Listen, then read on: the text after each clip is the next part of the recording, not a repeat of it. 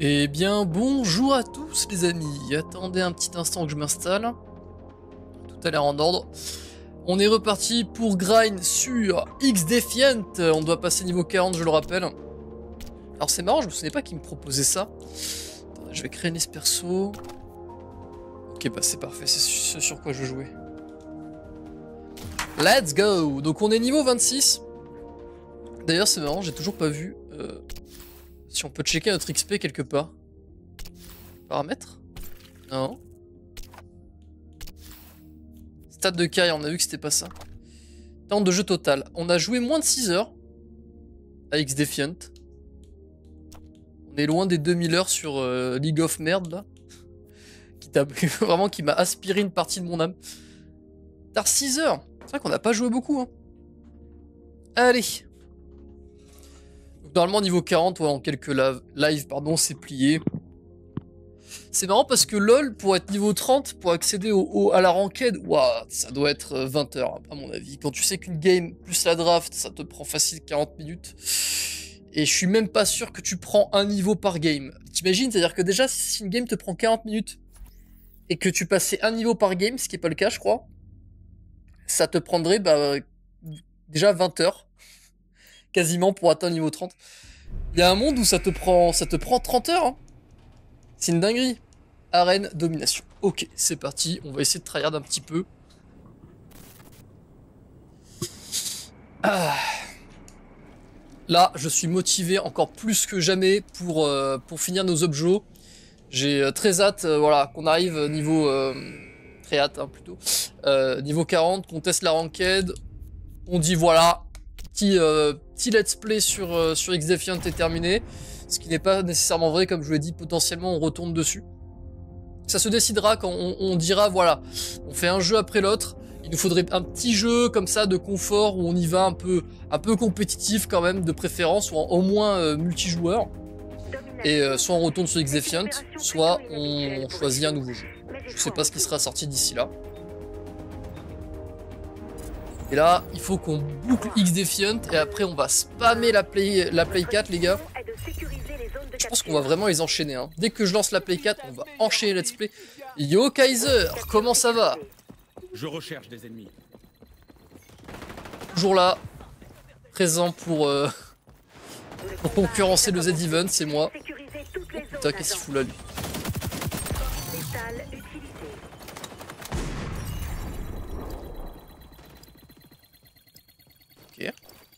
Bon bah merci, c'était gratuit ça.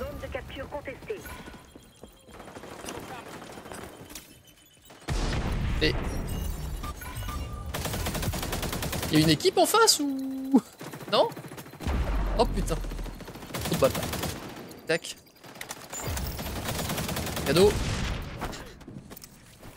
Oh là là, mais ils me rendent fou C'était le tap-top, y'en a un qui venait tout à droite, un au milieu, un à gauche. Ah, je sais plus où donner de la tête, là. Non. Catastrophique, heureusement je l'ai headshot.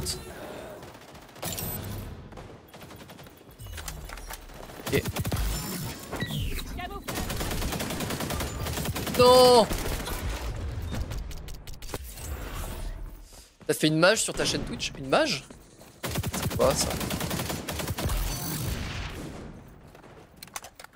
C'est-à-dire?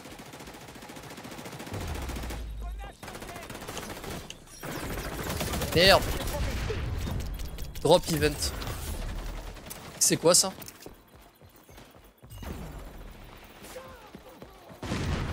J'ai touché à rien, hein, donc euh, s'il y a un nouveau truc, euh, c'est pas de mon fait. C'est quoi ça un drop event? Meurs, s'il te plaît Je l'ai vu affiché dans le chat, on peut bénéficier des avantages. D'accord, bah écoute, je non, je n'ai rien fait. Mais tant mieux, c'est quoi C'est si vous vous abonnez, c'est ça la chaîne, vous avez des avantages Aïe. Non, bah j'ai touché à rien en tout cas.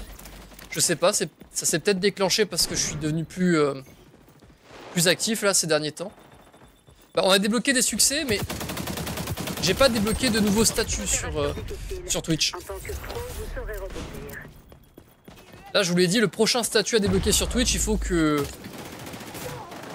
Faut que j'ai une moyenne de 75 spectateurs. Donc autant dire, voilà, ça veut dire que je peux commencer à vivre de Twitch. Apparemment, apparemment, à partir de 75 spectateurs, tu commences à te faire des sous sur Twitch. Moi, je sais pas. Genre vraiment, ça commence à être intéressant. Ça me paraît quand même assez étonnant, mais tant mieux. Hein. Et je vois que Twitch aussi, ça fonctionne vraiment pas du tout comme YouTube. C'est-à-dire que sur YouTube, imaginons t'as 100 000 abonnés. Surtout pour du gaming, t'as 100 000 abonnés pour du gaming. Bon, tu vas avoir 1000 personnes sur tes lives, tu vois. Sur Twitch, si t'as euh, genre 10 euh, 000 personnes qui suivent, et eh bah ben, tu vas avoir le même nombre. En fait, t'as un ratio de, de plus de 10% des gens qui te suivent qui vont être constamment sur tes lives. Alors que sur YouTube, c'est plutôt un ratio de 1%. Et yo Damien, comment va? C'est plaisir, vous êtes toujours au rendez-vous, c'est incroyable. Le combat a déjà commencé. Sécurisez toutes les zones, agent. Vous préférez moi aux Z-Event en plus, putain, quelle, belle preuve d'amour ça. Là. Non, mais c'était un duel gagné ça. Bon, j'ai fait un peu de malin avec mon solo.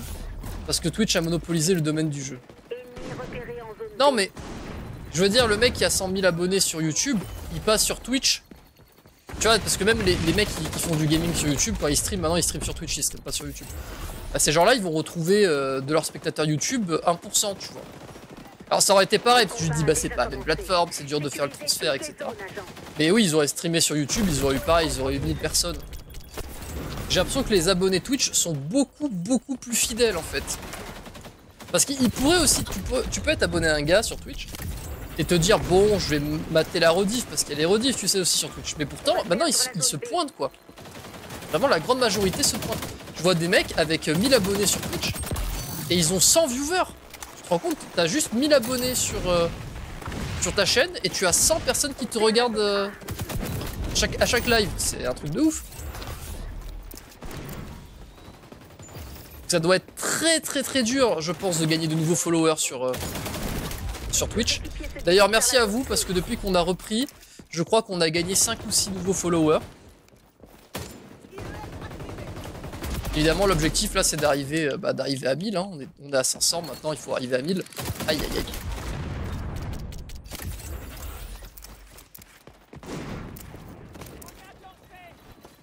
Putain. Après, tu, on va pas se mentir, le stream est tellement mieux sur Twitch la, qualité, etc. On est largement mieux sur Twitch. C'est très euh, compressé sur YouTube, j'ai l'impression.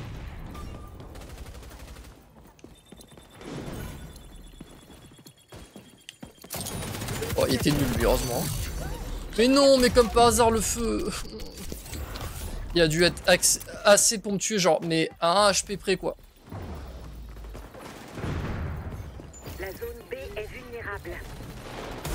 Et du coup, les gars, hier, j'ai oublié de, faire un raid. Faut que je fasse les raids pour les succès, hein, c'est important. N'hésitez pas à, me rappeler un peu quand je dis Ah là, je vais finir le live. Faut que je fasse un petit mémo. on va refaire un raid. On va refaire un raid sur le Z-Event et puis voilà. Là.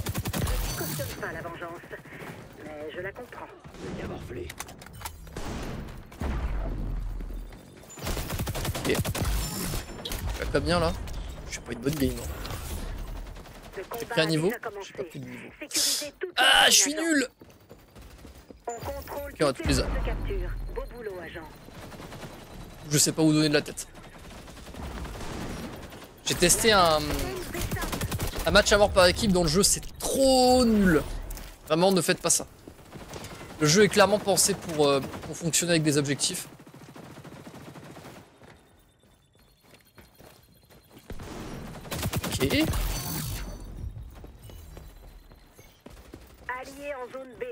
Ah le bâtard. Vu le petit saut, c'est qu'il m'avait déjà capté. Après tout, c'est une plateforme de live à la base, ça ne m'étonne pas vraiment que les spectateurs soient plus fidèles. Oh oui, en soi, ça, en soi, ça se tient. Je suis quand même, euh, je suis quand même impressionné parce que, ah à mon avis, il doit avoir des horaires de, de live bien définis, etc. Parce que vraiment, je trouve ça quand même incroyable qu'on parle de live, on parle pas de vue, tu vois que des gens soient abonnés à une chaîne YouTube et, regardent tes vidéos, voilà, ils, peuvent le regarder quand ils veulent, quoi, c'est de la vidéo à la demande. Et qu'un gars qui est juste 1000 followers, il lance un live sur Twitch, il a euh, quasi constant 100 viewers, Moi, je trouve ça impressionnant. Bon, bah, c'est pas, pas l'ordre des stades euh, auquel je suis habitué, quoi. Mais c'est rassurant, ça veut dire que bon, c'est très très dur hein, de percer sur Twitch, il hein, n'y a, pas a pas photo. Voilà. Nous je sais qu'on en est parfaitement capable. Dès qu'on se donne un petit peu, on se donnera un petit peu les moyens, vous on a déjà des gens qui viennent voir et tout. Alors que vraiment, on s'en bat les couilles, on n'est pas d'horaire. Euh, notre, il faut avoir la ref, genre vraiment, euh, nos streams c'est des private streams. Il faut avoir la ref de la chaîne YouTube qui a 10 ans et qu'on est en train de finir tous les let's play qu'on a commencé, etc faut connaître le personnage. Quand on va vouloir un petit peu se lancer sérieusement avec On fait même pas de facecam, on fera de la facecam. Des jeux un petit peu populaires et tout. Vraiment, c'est quand on prendra la, quête un petit peu au sérieux. Je sais que... Voilà, je m'inquiète pas, ça peut monter assez vite. Je viens d'avoir un flashback du mec en live qui relait Vous êtes où? Parce qu'il bidait, c'était énorme. Quoi? J'ai jamais vu ça. J'ai checké, c'est une mage Twitch, mais sur ton profil, tu peux voir drop en entrant tu vois différentes armes de Defiant qui sont comme des offres. Oh C'est parce que j'ai noté que sur live on était sur X Defiant, du coup vous avez des, avantages. Bah écoute, c'est cool. Hein. Ah, sauf si vous en branlez d'X Defiant du coup. Non mais moi j'ai rien fait, hein. j'ai touché à rien. Le seul truc que j'ai ajouté, voilà, c'est que maintenant quand quelqu'un s'abonne, vous avez un gif qui apparaît. Euh, à chaque fois, je vais dire abonne alors que je parle des follow. On, dit follower en, en langage Twitch. Et que et abonnement, c'est vraiment quand tu payes. Alors qu'un abonnement sur YouTube, c'est gratuit, quoi. Ce qui est plus logique sur Twitch, d'ailleurs. Hein. Parce qu'un abonnement gratuit, c'est pas... Pas très logique, on va dire.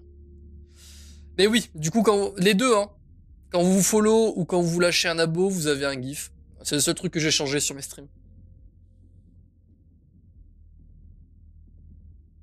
Je connais ce même, vous êtes où Je l'ai jamais vu passer, moi. Mais j'avoue, moi, à part les, genre, les big mèmes, les trucs, des fois, que je vois passer, et en plus, je suis étonné de voir passer, parce que je suis pas du tout ces gens-là. C'est genre, euh... Hum, marche, mon donut sucré au sucre. Ouais, ça, je l'ai vu passer, tu vois. Je sais même pas comment. C'était à l'époque, je suis passé sur Twitter, je voyais ça. En vrai, en vrai, c'était marrant. c'est débile, mais c'était marrant. Mais en général, euh, ouais, tout ce qui est un peu petit même, si c'est pas le même, tu vois, qui international, le buzz, genre personne n'a pu le manquer, genre le, même du gars là, qui se balade avec sa meuf dans la rue et qui est en train de tourner la tête pour checker le cul d'une autre, tu vas voir des trucs comme ça. Tout le monde connaît, genre.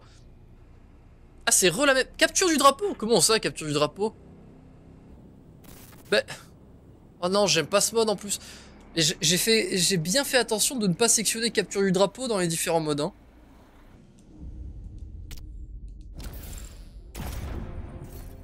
On est toujours 26 et ça c'est catastrophique. Ah, afficher profil de... Non, mais on peut rien voir, mais... C'est infâme de pas pouvoir voir sa barre d'XP quand même, non? Capture du drapeau, je trouve ça nul. Non, j'ai pas envie de jouer à capture du drapeau. C'est non. À chaque fois que tu quittes une game, t'as un chargement, frère. Toujours il freeze le chargement. Tu, sais pas pourquoi. Voilà, c'est. C'est normal chez, Ubisoft.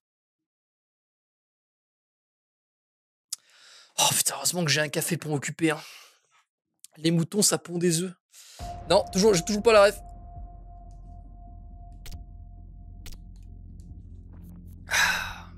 Il n'y a pas contrôle du drapeau, on est d'accord. Capture du drapeau, pardon pas capture du drapeau.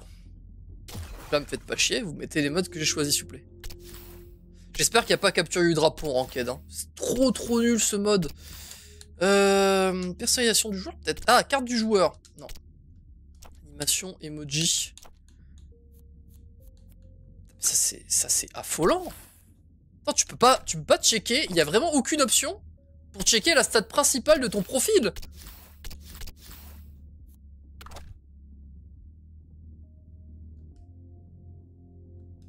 frère. je sais pas, c'est trop bizarre. Ah, je connais son nom quand même à celui qui a fait de sucré au sucre, je suis pas. C'est Rebeu d'Ether. Il est passé dans une vidéo de Squeezie. Attention. Hop là. Zone de capture contestée.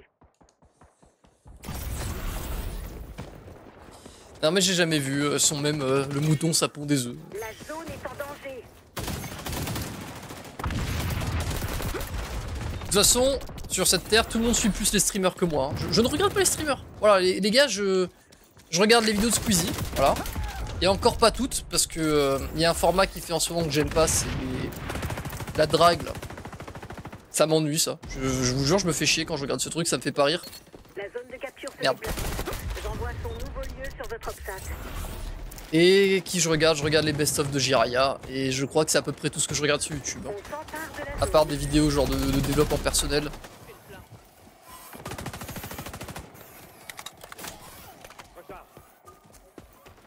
Ah si, je regarde beaucoup de vidéos de bouffe.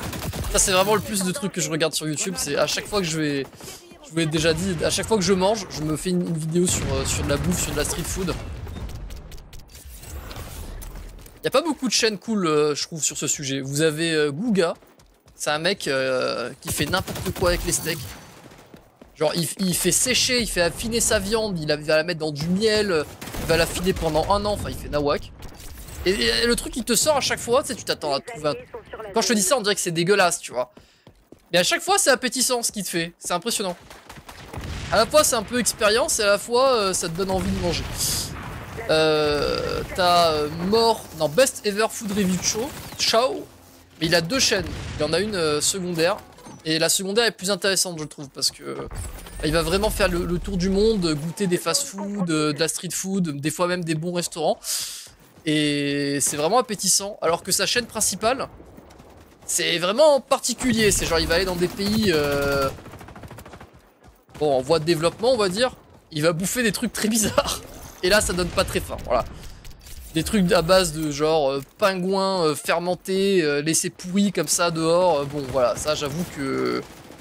Puisque le but, c'est de me donner faim, je regarde pas trop cette chaîne. A. Et en ce moment, puisque je suis à court de chaînes comme ça, je regarde Tev et Louis. Vous savez, Louis San, là. Il fait des vidéos au Japon. Et Tev et Louis, eux, ce qu'ils font, c'est vraiment très, très axé sur la bouffe. Et pareil, ils visitent des pays, ils testent la bouffe. Euh, Là, ils, sont ils étaient en train de tester les, restaurants québécois.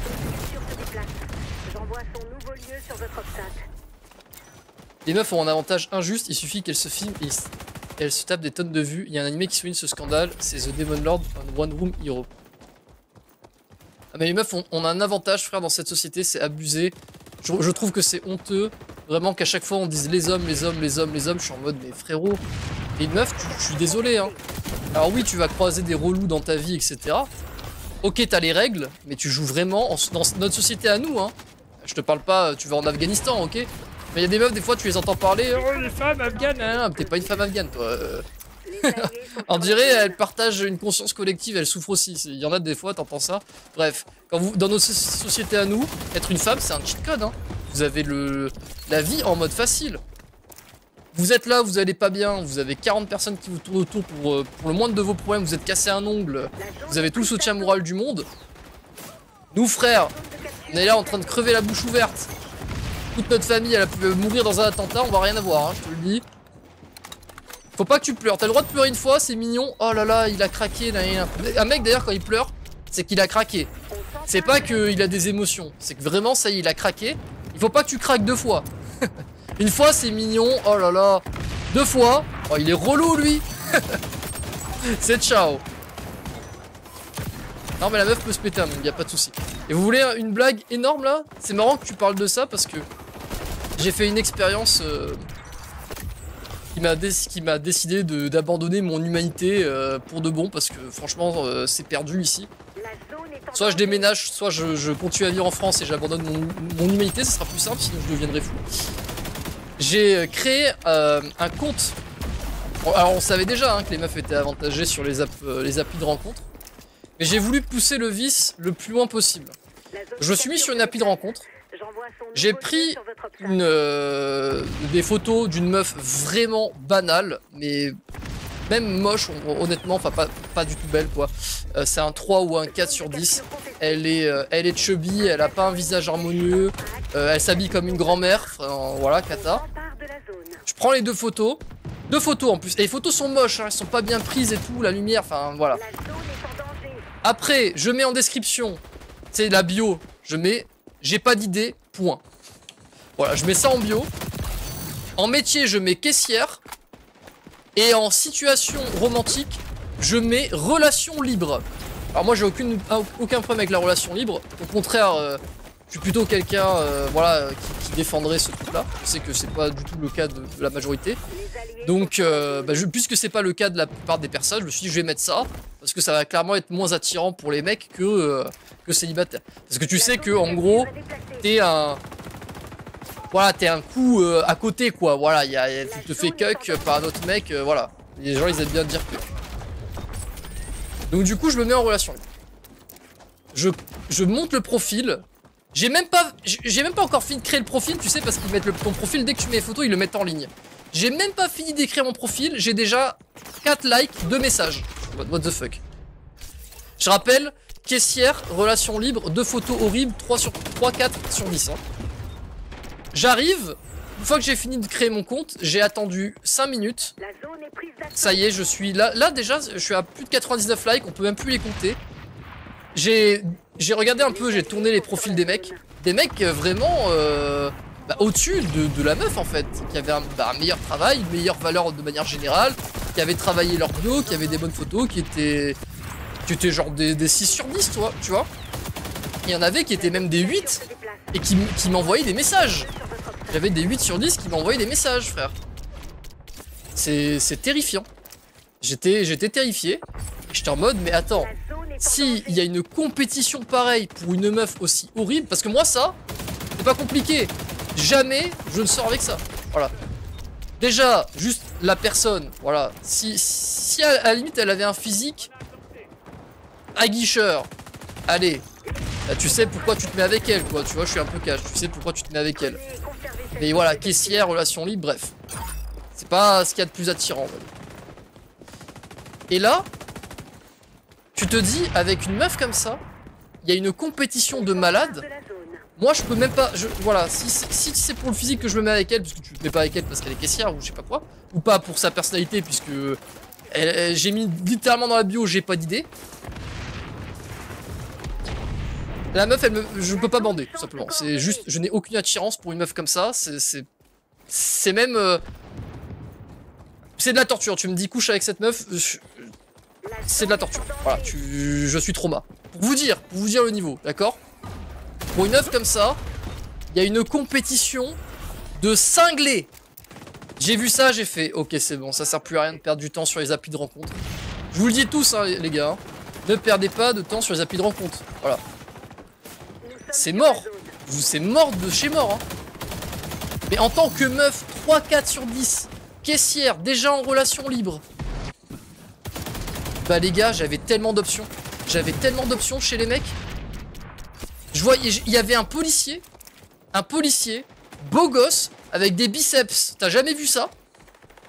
Il m'a envoyé un message. Il a utilisé euh, le, tu sais, les, les avantages premium pour m'envoyer un message avant le match. Attention, je détecte notre technologie. J'étais en mode, mais c'est pas possible.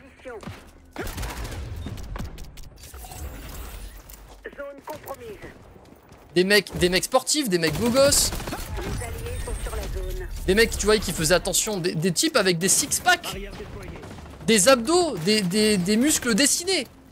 Donc tu vois le bullshit, le bullshit euh, des... euh, Moi, en développement personnel, j'avoue que je suis plus tout ce qui est au niveau du mental, de la motivation, de la procrastination.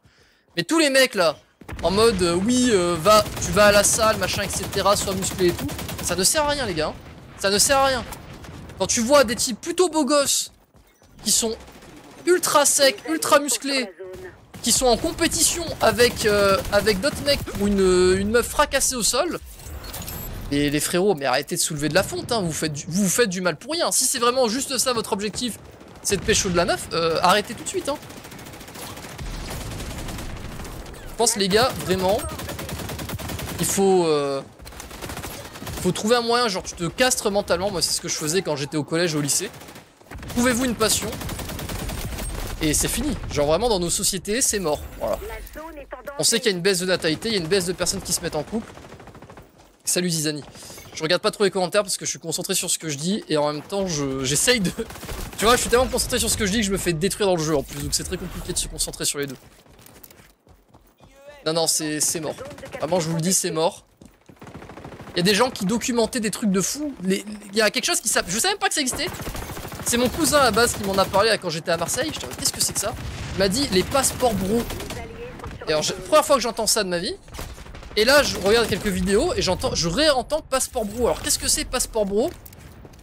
C'est des mecs dans notre société, genre française ou occidentale en général, c'est tellement impossible de trouver une meuf et encore pire une meuf correcte que des types vont à l'étranger, ramènent une meuf en France. Genre, c'est devenu un truc ça. C'était quelque chose déjà avant, mais là, ça porte un nom. C'est un phénomène. Est-ce que vous, on réalise la dinguerie ou pas C'est devenu un phénomène. Ah oui, pardon aussi, il y a un autre truc que j'ai pas dit. C'est que sur le profil de faux de meuf que j'ai créé, je me suis mis euh, bisexuel. Voilà. Et donc j'ai dit que je voulais voir des profils de mecs et des profils de meufs. Si je vous dis qu'au bout de 5 minutes, il y a une meuf qui m'a envoyé un message, c'était facile, une 7-8 sur 10, la meuf. J'étais en mode quoi? Mais quoi? Et je crois qu'elle était bi elle aussi. Donc la meuf, elle doit euh, refuser un milliard de mecs, mais vraiment pas trop mal. Tu vois, je te dis pas des, des giga BG acteurs de cinéma ou quoi. Déjà ça c'est absurde qu'elle euh, qu'elle puisse viser ça, mais bref. Mais en 5 minutes, je venais à peine de créer mon profil, j'ai reçu le message. Je vous montre pas les photos que j'ai mis parce que euh, parce que voilà, j'ai pas envie d'afficher la, meuf dont j'ai déjà piqué les photos. Déjà, c'est pas très voilà. Mais c'est pas une meuf que je connais d'ailleurs. hein, C'est quelqu'un que j'ai croisé sur une autre appli de rencontre, que j'ai même pas message ou quoi, que j'ai vu le profil passer et je me suis dit, attends, combien de, likes cette meuf elle peut se taper, tu vois Pour faire une expérience, pour me dire, voilà, elle je la like pas, je la vois pas, j'ai vu ça passer son profil, j'ai mis une croix, tu vois. Et je me suis dit, attends, elle à ma place, combien elle a de sollicitations sur les trucs C'est terrifiant, les gars, c'est terrifiant, vraiment. Désinstaller toutes les apps, c'est mort. Oh, trop bien ce flingue.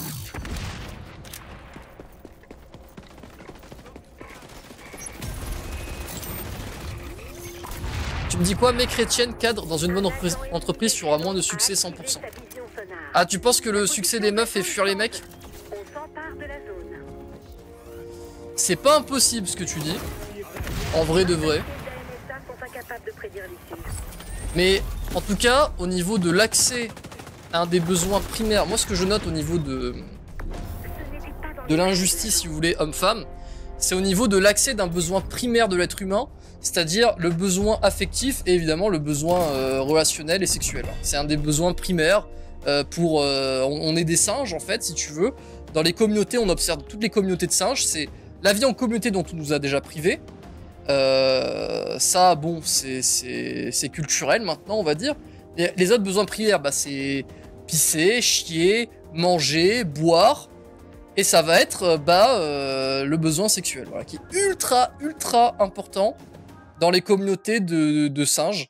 D'ailleurs, a un nom, singe, c'est un nom scientifique, mais j'a- j'avoue que je l'ai perdu. Mais vous voyez ce que je veux dire? Ça va du chimpanzé au gorille, euh, au bonobo, voilà, tout ça. On fait partie de, cette grande famille-là. Ce sont nos cousins, en fait, d'un point de vue de l'évolution. Ils fonctionnent tous de la même façon. Ils ont tous les, me- les mêmes besoins primaires. En tant qu'être humain, on a ces besoins primaires aussi. Une femme, t'as accès dans la société d'aujourd'hui à tous les, autres besoins primaires au-delà du, du truc communauté. Ce qui a remplacé les communautés aujourd'hui, c'est les réseaux sociaux, euh, un peu la famille et le fait de vivre dans des, dans des villes, des villages, etc. Mais factuellement, on, a, on est beaucoup moins proche que dans des communautés plus restreintes, comme ça pouvait l'être à une certaine époque peut-être, tu vois. Mais du coup, on a tout, on a l'eau, on a accès à l'eau, on a accès à la bouffe, on a accès à tous ces besoins primaires là. On peut, on a des chiottes, voilà, on peut pisser, on peut chier, voilà. Il y a personne qui va nous interdire de faire ça, tu vois. À la limite, quand t'es dans la rue, ça c'est une honte qui est pas assez de toilettes publiques, même à Paris. Mais bref. Par contre, pour ce qui est de la, relation et du sexe, t'es une meuf, t'es là, t'as rien fait, t'as pas pris, t'as pas pris soin de toi, t'as pas de répartie, t'as rien. Tu as là, je peux, si, si j'étais vraiment cette meuf là, Capture.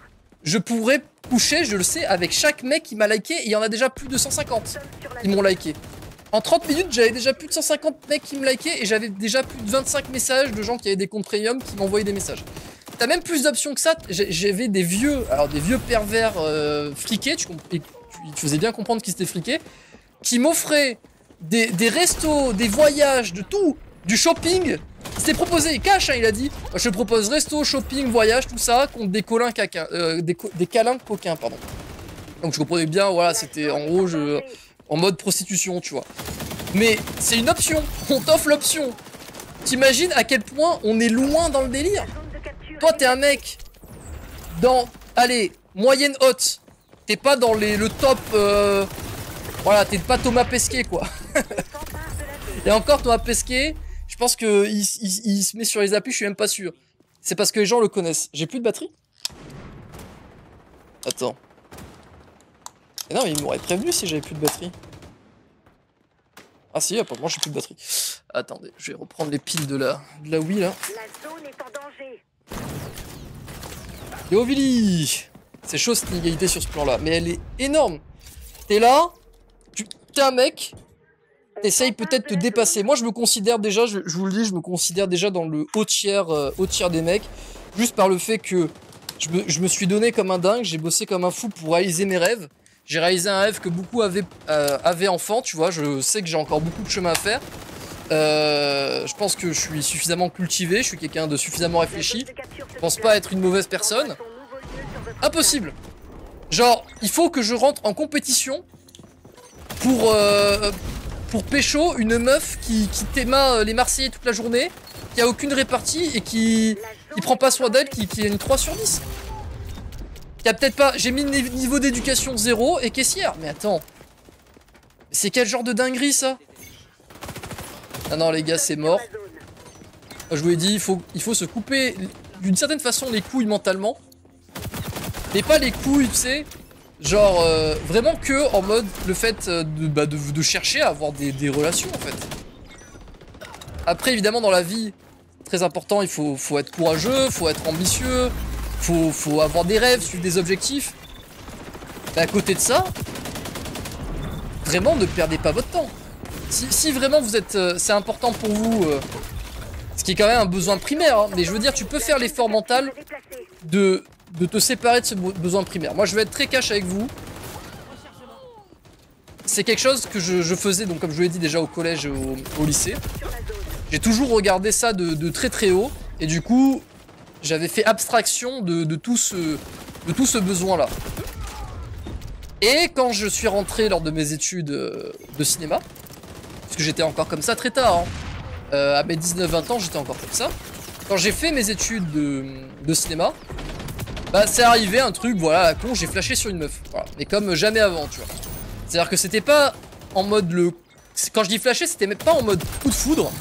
C'était vraiment, on passait du temps, euh, euh, voilà, on se voyait à l'école et tout. Et vraiment, j'ai ressenti un amour pur et sincère, tu vois. Genre, c'était pas en mode... euh, D'ailleurs, la personne en question, je ressens toujours cet amour. C'est ce qu'on appelle, tu sais, l'amour euh, inconditionnel. Comme tu peux ressentir pour un membre de ta famille, etc. Voilà. Et là, je me suis dit, quand même, parce que dans ma famille et tout, moi, j'ai jamais connu vraiment l'amour, si tu veux. Ma famille, elle s'est jamais vraiment occupée de moi, on m'a toujours euh, mis de côté, etc. Et là, je me suis dit, putain, c'est quand même sympa comme, comme sensation, tu vois. Et donc, ça m'a intéressé, je me suis dit, bon, est-ce qu'on laisserait pas une chance au truc? Bon, au final, euh, rien à donner, parce que euh, après, j'avoue que, voilà, puisque j'avais fait abstraction de, ça pendant des années, je faisais pas attention à moi et tout, c'est normal. Je pense que, voilà, à la place d'une meuf, je me serais pas mis avec moi non plus, tu vois. Tu voyais, il y avait des meufs qui s'intéressaient à moi, je le voyais clairement. Parce qu'il y avait un certain attrait, j'exultais quand même une certaine confiance en moi, on voyait que j'étais très ambitieux. Dans le cadre du scénario, euh, clairement j'avais un, talent qui se montrait, tu vois. Au-delà de ça, euh, pas rasé, pas coiffé, euh, bas les couilles, j'étais ultra maigrichon, bon voilà. Donc euh, il y avait des trucs qui pouvaient refroidir. Bref. Quelque chose que j'avais pas attendu comme ça, ça a créé de la frustration. Que ce soit pas fait. Et que je... De base, en fait, je ne pensais même pas que ça pouvait arriver, tu vois. Donc ça a créé de la frustration et j'ai voulu me mettre avec euh, d'autres meufs, donc faire là un peu plus attention à mon apparence, etc. Pour me mettre avec d'autres meufs et en fait c'est complètement, euh, comment on dit, de la pommade sur la frustration de la relation qui m'importait vraiment. Et c'est là que j'ai commencé à m'intéresser à tout ça. Et là, ça m'a fait découvrir un, nouveau monde, frère. Ce nouveau monde-là des, de, la drague, des, des réseaux, des applis de rencontres, etc. Et je vous dis, c'est terrifiant. ouais, c'est pour les mecs pour qui c'est vraiment important et que c'est important depuis euh, depuis le départ, parce que moi j'avais des potes au collège. Ah, ils réfléchissaient qu'avec leur, leur bite déjà. hein. C'était terrible. hein. Je pense qu'ils ont une, une puberté euh, plus précoce ou je sais pas quoi. Ils devaient avoir euh, une bombe d'hormones dans le cerveau. Et ces gens-là, et ils sont morts aujourd'hui. Je pense que ces, ces gens-là sont morts aujourd'hui, sincèrement. Donc voilà, si c'est quelque chose qui est important en vous, peut-être que vous avez un haut taux d'hormones, une forte attirance, un fort besoin ou je sais pas quoi, mais quittez la France. hein. Alors ne quittez pas la France évidemment pour aller en Italie, en Espagne ou je sais pas quoi, vous m'avez bien compris. Hein. Quittez la France, vous partez en Thaïlande, vous partez en Chine, je sais pas où vous partez, mais vous vous, barrez de, tout ce qui est euh, Occident quoi. Faut avoir aussi une colonne vertébrale solide pour vivre. Ah oui, non, mais ça c'est clair. Julien avec une perruque qui part financer ses projets la zone est prise d'assaut. pour être payé. Tu sais que je me suis dit, vraiment le gars c'était un gros dégueulasse. hein. Je me suis dit, est-ce que je tenterais pas le coup en mode, euh, je veux bien faire un premier date. Tu sais, je me suis dit, je vais peut-être le. Il y a un moment où dans la tête, je me suis dit, je peux le scammer ce gars. En mode, euh, ok, je veux bien qu'on se voit une première fois en date. Par contre, euh, voilà, j'ai plus rien à me mettre. Est-ce que j'aimerais pour notre premier date qu'on aille manger dans un bon resto, du coup? Mais j'aimerais que, voilà, est-ce que tu peux me donner un peu d'argent pour que je m'habille bien? Et je lui aurais fait cracher un petit 150 balles, tu vois. Sur un Paypal, j'aurais créé un Paypal, il m'aurait lâché un petit 150 balles. Je pense clairement, j'aurais pu, j'aurais pu la jouer comme ça, voilà. Mais ça m'aurait pris du temps, je suis pas à 150 balles près, et je suis pas un scammer, donc... euh,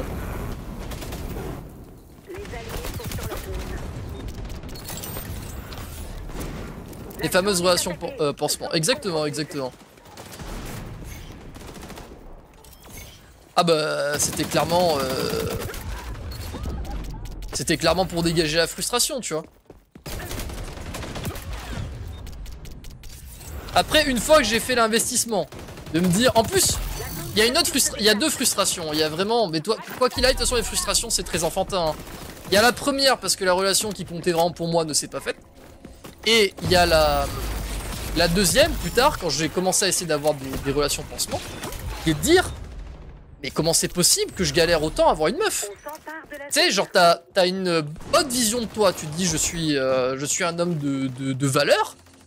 Je suis un gars, voilà, comme j'ai dit, réfléchi, euh, cultivé, euh, un peu philosophe, et ça fait vraiment le mec pas du tout humble. Mais moi, j'aime bien être cash. Qui fait tout pour réaliser ses rêves, etc.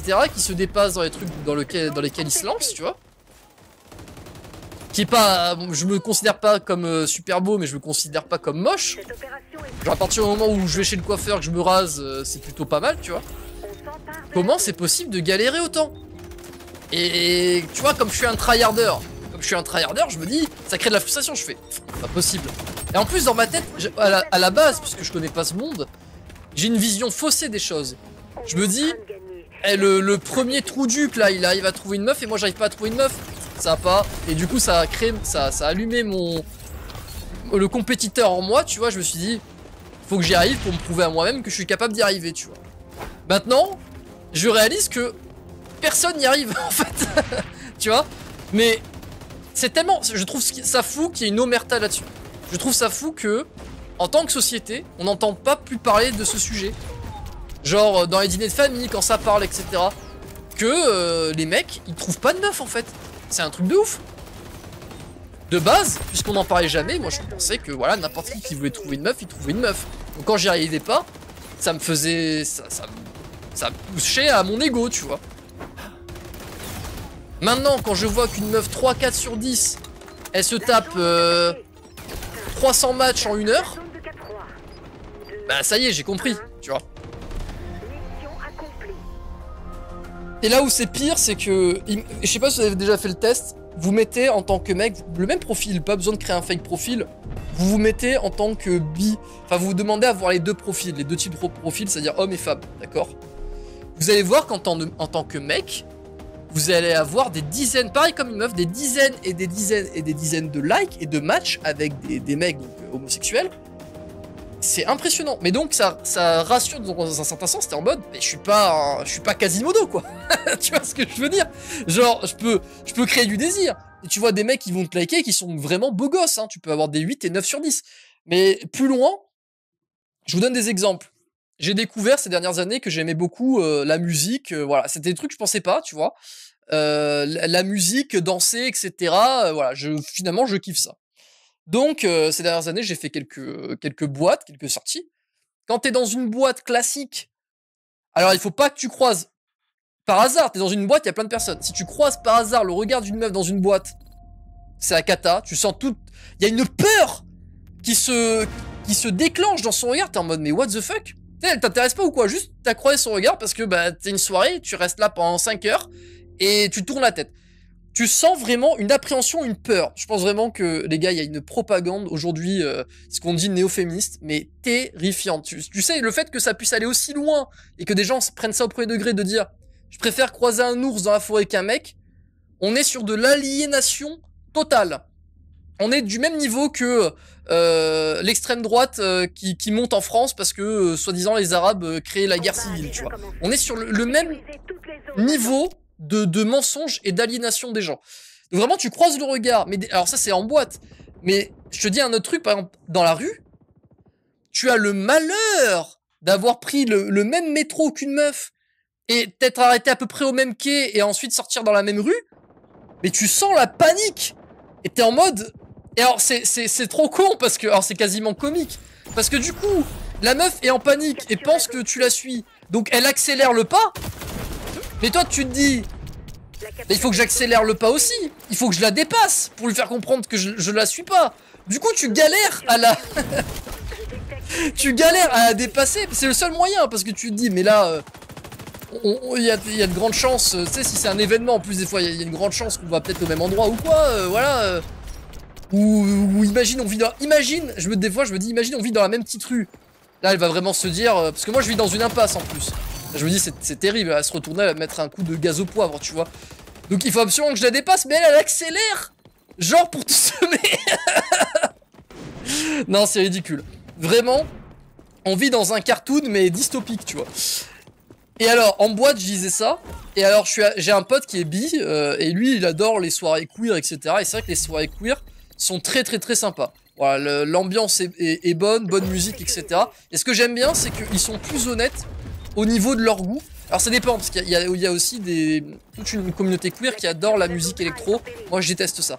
Mais c'est vrai que quand tu vas dans des boîtes un peu jeunes, euh, classiques, bah, des fois, ils vont passer du rap, des trucs, frère. euh, oh, on, je danse, on danse pas sur ça, c'est quoi cette merde? Nique ta mère sur la canne de bière et tout, bon, au secours. Alors que les soirées là, c'est plus du, de, de la pop, euh, du disco, des trucs pour moi dansants, tu vois. Et alors, dans ces soirées là, tu croises le regard d'un mec, comme tu peux croiser le regard d'une meuf dans une boîte classique. Et alors, c'est l'inverse total. C'est pas euh, la peur que tu as dans son regard. Mais alors, du coup, c'est marrant parce que la situation est inversée. Tu comprends tout de suite que le gars, il va venir te, draguer ensuite. Et ça, ça, manque pas vraiment quand tu vas dans une soirée queer en tant que mec. Euh, moi, je me fais draguer euh, environ trois fois. Voilà. J'évite vraiment, hein, j'essaye pas du tout. C'est ça le pire, c'est que juste je suis là, je danse, je fais mon truc. Oh, justement, j'essaye de pas avoir trop de proximité avec d'autres pour pas que ça envoie le mauvais message, tu vois. Malgré tout, je vais me faire draguer trois fois dans la soirée.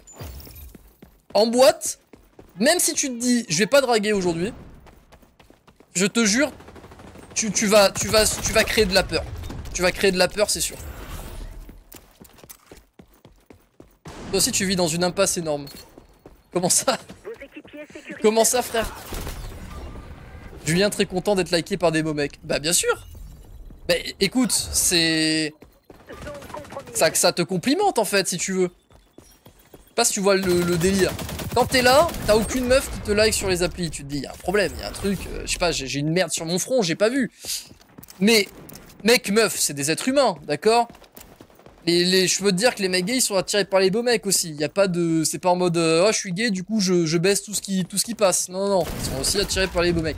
Donc quand t'as un beau mec qui a donc accès à d'autres beaux mecs en théorie euh, dans la communauté gay te like, C'est que, voilà, tu sais que t'es pas... Euh, t'es pas un déchet sur la route, quoi. Tu vois ce que je veux dire? Par contre, la même chose avec les meufs, c'est mort. C'est mort. Alors, un queer, c'est juste... euh, Quelqu'un qui, qui est pas dans les hum, clichés de genre, entre guillemets. En fait, ça permet d'en- d'englober euh, les gays, euh, donc les, homosexuels, les, les lesbiennes. Parce que maintenant, c'est des communautés, en fait.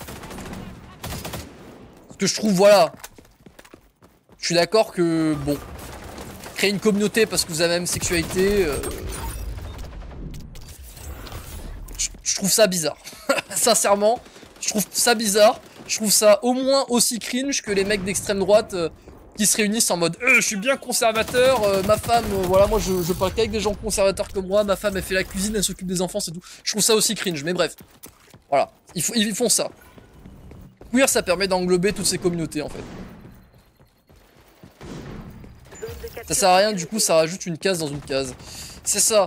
Mais c'est qu'on vit dans une société aujourd'hui où les gens sont tellement en perte de repères, euh, n'ont plus d'identité en fait.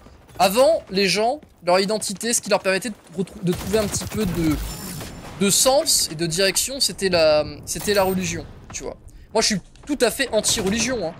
Mais c'est vrai que du coup, quand t'as quelque chose d'aussi fort et impactant pour le cerveau humain, que la religion et qu'on s'en débarrasse dans une société, il faut trouver quelque chose pour le remplacer. Et nous, en tant que, en tant que nation, en tant que, société, en tant que civilisation, on a remplacé ça par rien. Parce que, normalement, c'est l'école qui devrait te donner une culture, une éducation suffisante pour faire que tu te construises en tant qu'individu avec des valeurs fortes euh, sans la religion. Et sauf que l'école, à la place, elle t'abrutit. Elle abrutit euh, chaque enfant qui rentre à l'école. euh, On lui lève le cerveau, d'accord? On le vide de toute son énergie, de toute sa passion, de toute son envie d'apprendre.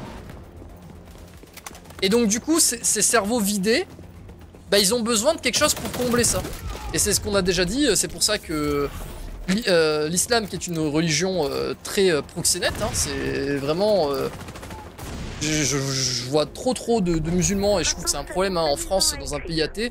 Je le dis, hein, moi je vote Mélenchon, encore je le rappelle, c'est important. Mais c'est pas pour ça qu'on est embrigadé et qu'on ne voit pas les vrais problèmes. Il y, y en a trop qui font vraiment une promotion violente et sévère de la religion, ok? Mais du coup, face à des esprits faibles, vidés par l'éducation nationale, alors qu'elle est censée, à la base, je rappelle, l'éducation nationale, c'est censé être l'école des lumières. hein.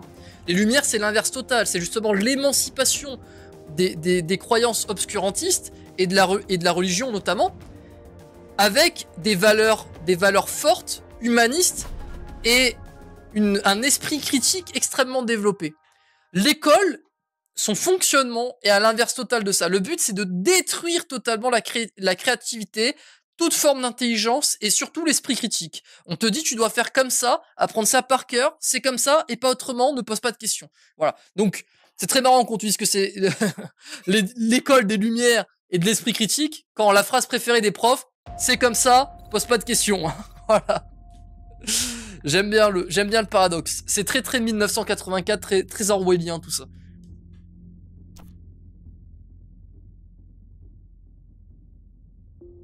On se met tous l'oignon sur on se copain. L'école, c'est de la merde, c'est la maladie de la société. Elle transmet une négativité contagieuse et cancéreuse. Tout à fait. Mais tu vois, à force de faire des expériences dans la vie et d'explorer différents, euh, domaines qui sont importants à l'être humain, je réalise une chose, c'est que vraiment, on est dans un état critique de nos sociétés, mais critique dans le sens où les dominants ont dominé trop longtemps, avec trop de moyens divers et variés de dominer, et ont beaucoup trop changé les règles du jeu à leur avantage.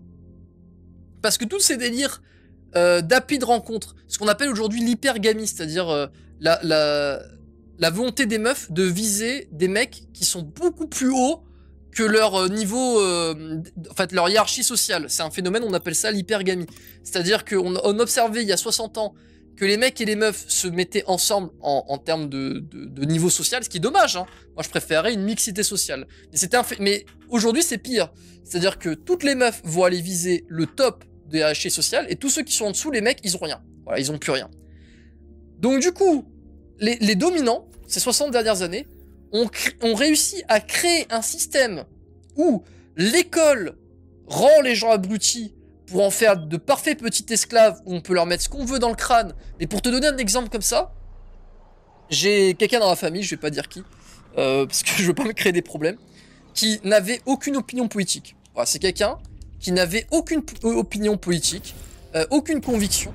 Cette personne a fait des études, elle a rejoint un cabinet euh, de conseil, tu sais, type McKinsey, qui travaille activement pour Emmanuel Macron. Donc, euh, cette personne travaille activement pour, euh, pour le, gouvernement, fait des fiches, des trucs à la con, c'est là où nos impôts ils partent, des trucs qui servent à rien. Et ben, depuis qu'elle fait ce travail-là, elle est à fond, elle est à fond Macron. Elle est convaincue, Macron, machin, etc. Euh, elle- cette personne ne m'embêtait jamais par rapport à mes convictions France Insoumise et tout. Mais maintenant, c'est euh, Mélenchon, euh, c'est un, terroriste fou, euh, dictateur. la France Insoumise, c'est des islamistes. T'es en mode, mais qu'est-ce qui se passe? Mais si le crâne des gens n'était pas vidé de toute substance pendant ces études et pendant cette école. En fait, l'école, c'est vraiment on te vide le crâne, on absorbe toute ta créativité, tout ton esprit critique. Ensuite, les conseillers d'orientation vont t'orienter en fonction des besoins de la société. On va te dire va ici, va là-bas. Tu fais tes études de, de, de 3 à 5 ans. Ces études-là vont formater ton esprit vide. C'est comme si tu, tu passais euh, sur les, les rails de l'usine pour pour qu'on on fasse de toi un robot adéquat pour l'entreprise que tu vas rejoindre et pour la fonction que tu as remplie en société. Et là, sa fonction, c'est littéralement de- de travailler pour, euh, pour le gouvernement, pour Macron, pour les dominants. Et elle a adopté tout le système de pensée en un instant. Parce que, puisque le, le, le, si tu veux, c'était vide à l'intérieur, il n'y avait pas d'esprit cri- d'esprit critique, de conviction, il n'y avait rien. Il n'y avait jamais de discussion politique qui, qui s'effectuait, il n'y avait pas d'opinion. Et bah, du coup, il y avait juste à faire télécharger le logiciel. Et hop là, c'était bon. C'est terrifiant. C'est ça, c'est du lavage de cerveau. L'opération est clairement en cours. Donc à chaque fois que vous vous posez une question, je vais vous dire un truc. Moi très souvent, bah, quand j'étais, c'était plutôt au niveau lycée et quand j'ai arrêté le lycée, je m'intéressais un peu à tous les sujets en société. C'est là que j'ai commencé à m'intéresser à la politique parce que je savais que j'allais, euh, je savais que bah, j'allais voter bientôt. Et moi, quand on me dit de faire un truc comme ça, je votais. Je me suis toujours dit c'est quelque chose de très sérieux. Tu vois, tu quand même, tu décides l'avenir de ton pays, etc. Voilà. C'est vraiment en tant que collectivité, en tant que nation, on tend tous vers une direction et c'est important de, bien choisir. Surtout que depuis que t'es tout petit, on te stresse là avec le, journal de France 2, des trucs, on te dit toujours il y a des problèmes dans le pays, il y a des problèmes dans le pays, on te dit on est en crise depuis les années 2000, t'as l'impression c'est la panique, il faut régler ce problème, il y a un problème, il faut le régler. Donc moi j'adore régler les problèmes, le problème solving, c'est euh, c'est un de mes trucs préférés, d'accord? C'est d'où le fait que euh, quand j'étais petit, j'aimais beaucoup philosopher. Philo- philosopher, finalement, c'est du problème solving. Tu te dis, mais pourquoi? Et tu, tu, tu, tu réfléchis et tu essaies de, mettre en, en- en lien plein de, domaines différents pour arriver à une conclusion euh, convenable. Euh... Oula, c'est quoi ça? Wesh On est dans Alien ou quoi? Au secours En plus, c'est pas le tout. Euh... Donc je m'intéresse et je vois plein de problèmes. A un problème là, il y a des problèmes là, il y a des problèmes partout euh, dans, dans ce pays. Et tu te dis, mais tout le monde est conscient des problèmes et c'est toujours pas réglé. Il y a des gens, voilà, qui se succèdent au pouvoir et les problèmes sont toujours pas réglés. Au contraire, ils sont amplifiés dans leurs, dans leurs aspects les plus, les plus délirants. Et alors, au départ, ça te paraît absurde. Tu te dis. Alors, il y en a plein qui considèrent que, ça c'est des gens qui n'ont rien compris, que les politiques sont incompétents. L'opération À chaque fois, on a des nouveaux gouvernants qui se soi-disant s'opposent, et à chaque fois c'est des incompétents. On a des gens au plus haut poste de l'État, une des plus grandes nations du monde, la France, on a que des incompétents qui se succèdent. Donc ça c'est la théorie des gens qui n'y comprennent rien. Et en fait quand tu commences à réfléchir de manière un peu plus logique et tu te dis, mais ces gens-là font partie des dominants. Les dominants ont des intérêts qui ne sont pas les mêmes que les intérêts des dominés. C'est logique jusque-là. Et tu commences à réfléchir, tu te dis, attends, l'école qui forme une masse d'abrutis. D'accord? Tout le monde est au courant que ça forme une masse d'abrutis. Pourquoi on règle pas ce problème? Et bah tu te rends compte que cette masse d'abrutis, c'est les esclaves. En fait, on est en train de former les esclaves futurs des dominants. Mais c'est vrai pour tous les, tous les aspects. Hein. Tu te dis euh, pourquoi euh, on est en train de détruire l'hôpital public? Parce qu'il y a un marché euh, de la santé euh, qui est à prendre en France et que euh, là, si, vous regardez ces dernières années, les cliniques privées explosent.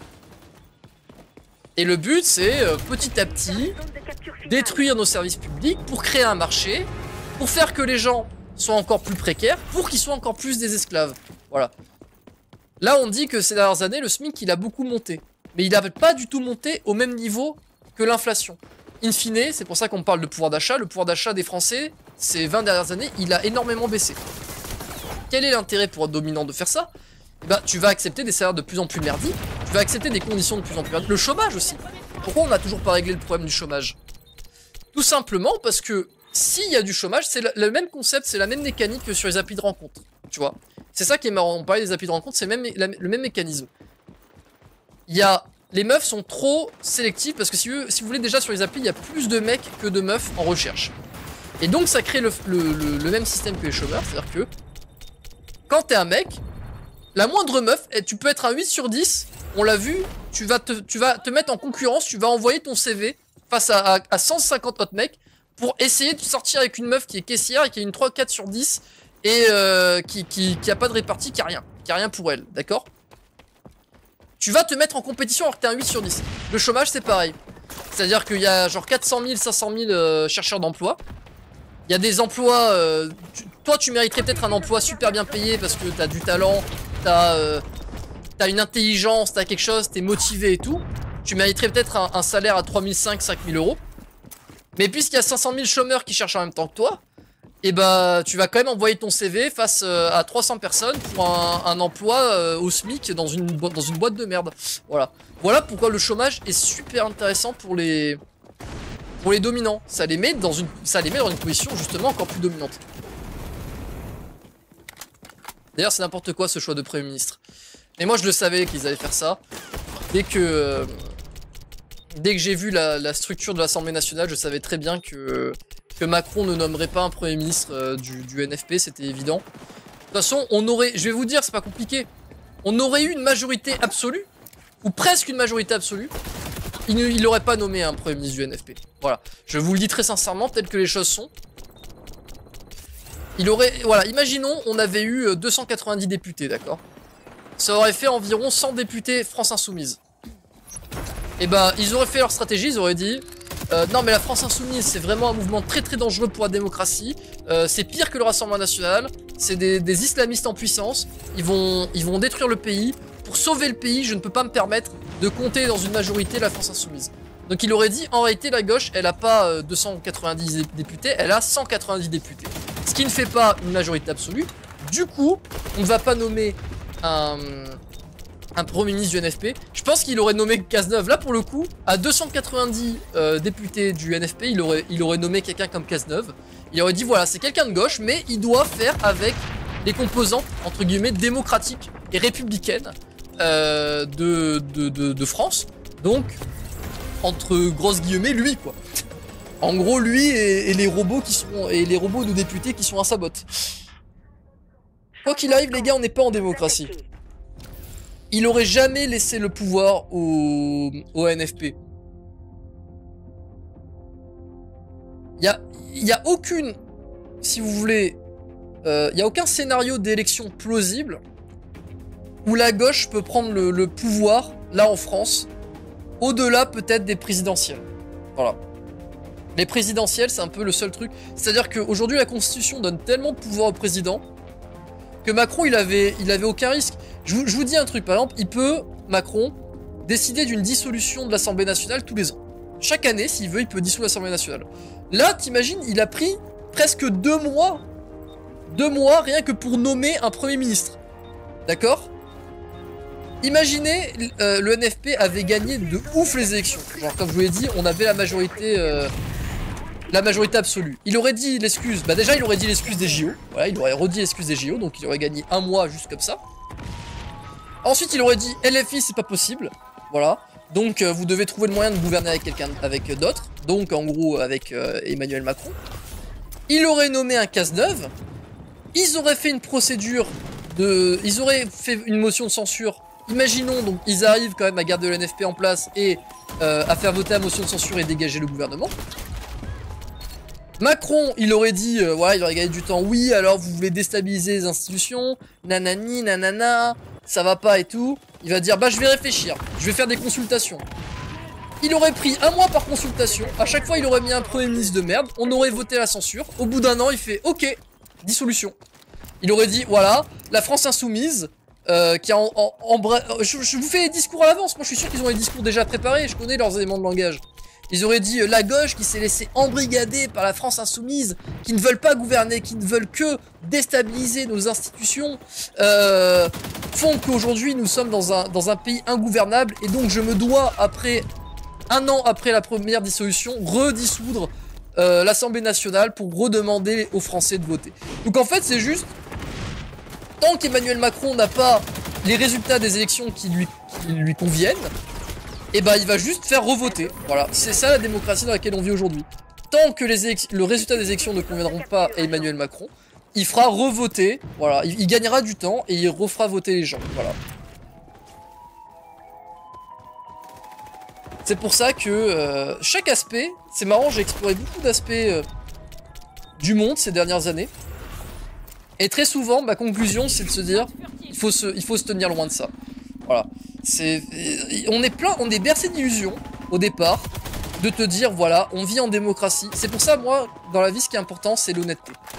Si on était honnête, à l'école, on disait, voilà, on vit pas en démocratie, euh, les dominants dominent, vous, êtes, vous faites partie des dominés, euh, vous jouez au jeu, au jeu euh, de la vie en mode hardcore. Si vous avez des ambitions, si vous voulez réussir la vie, vous allez chier. Voilà. Euh, il faut baiser la main du roi, des trucs comme ça. J'aurais fait bon, on, sait au moins dans quoi on vit. Tu vois, tu me fais pas perdre de temps. Au collège, même en école primaire, je sais, ok, je vis dans ce monde-là. Voilà comment euh, je dois fonctionner. D'accord? Je dis pas que j'aurais baisé la main du roi. Mais je sais déjà, par exemple, que j'aurais pas perdu du temps à militer euh, France Insoumise, à me dire on peut gagner les élections, on peut faire ci, on peut faire ça. J'aurais accepté le monde tel qu'il est, voilà, c'est comme t'es en Russie. Je veux dire, t'es en Russie, il y a Poutine. Euh, tu sais que tu, vas militer contre Poutine, tu, peux plus trouver de travail, euh, tu peux plus rien accomplir dans ton pays. Et si tu vas un peu trop loin dans, l'opposition, on t'empoisonne au je sais pas quoi, euh, et t'es mort. Ok? Bon bah tu le fais pas du coup. Après, ça veut pas dire que tu te soumets forcément à, au régime. Ça veut dire que potentiellement tu te dis, bon, et ben cette situation, on, a été très cash avec moi. On m'a dit, voilà, c'est ça la vraie situation du pays dans lequel tu vis. Et ben si ça te convient pas, voilà, tu peux quitter le pays. Et moi je me dis, euh, la France, très probable que, en vrai, je le quitte, ou alors je reste en France, mais en ne me considérant pas comme français. Je me considère pas comme faisant partie de ce système-là. Je vis là en France parce que je parle la langue et que du coup, bah, c'est plus arrangeant pour moi. Je sais à peu près comment faire mon, petit trou euh, ici. Mais je me considère pas comme. Je, ne tolère pas le système dans lequel je vis. Voilà. Je le sais. Donc je ne participe pas activement à ces institutions. Je ne participe pas à la mascarade soi-disant démocratique de ce pays. Et ça, voilà, c'est la conclusion que, que je fais aujourd'hui. Par contre, év- évidemment, si un jour on me demande pour qui voter, je vous dis votez Mélenchon. Voilà, c'est clair. Euh, Est-ce que je, ne participe pas aux institutions au point de ne pas aller voter Non. Le bureau de vote, il est à, à 3 minutes de chez moi. Euh, en général, il n'y a pas la queue. Je mets mon bulletin Mélenchon, je repars. Voilà. Pour ce que ça me coûte, je le fais. Au-delà de ça, si ça doit me prendre de l'énergie, soit de me prendre mon temps, ça ne sert à rien. Vous participez à une mascarade.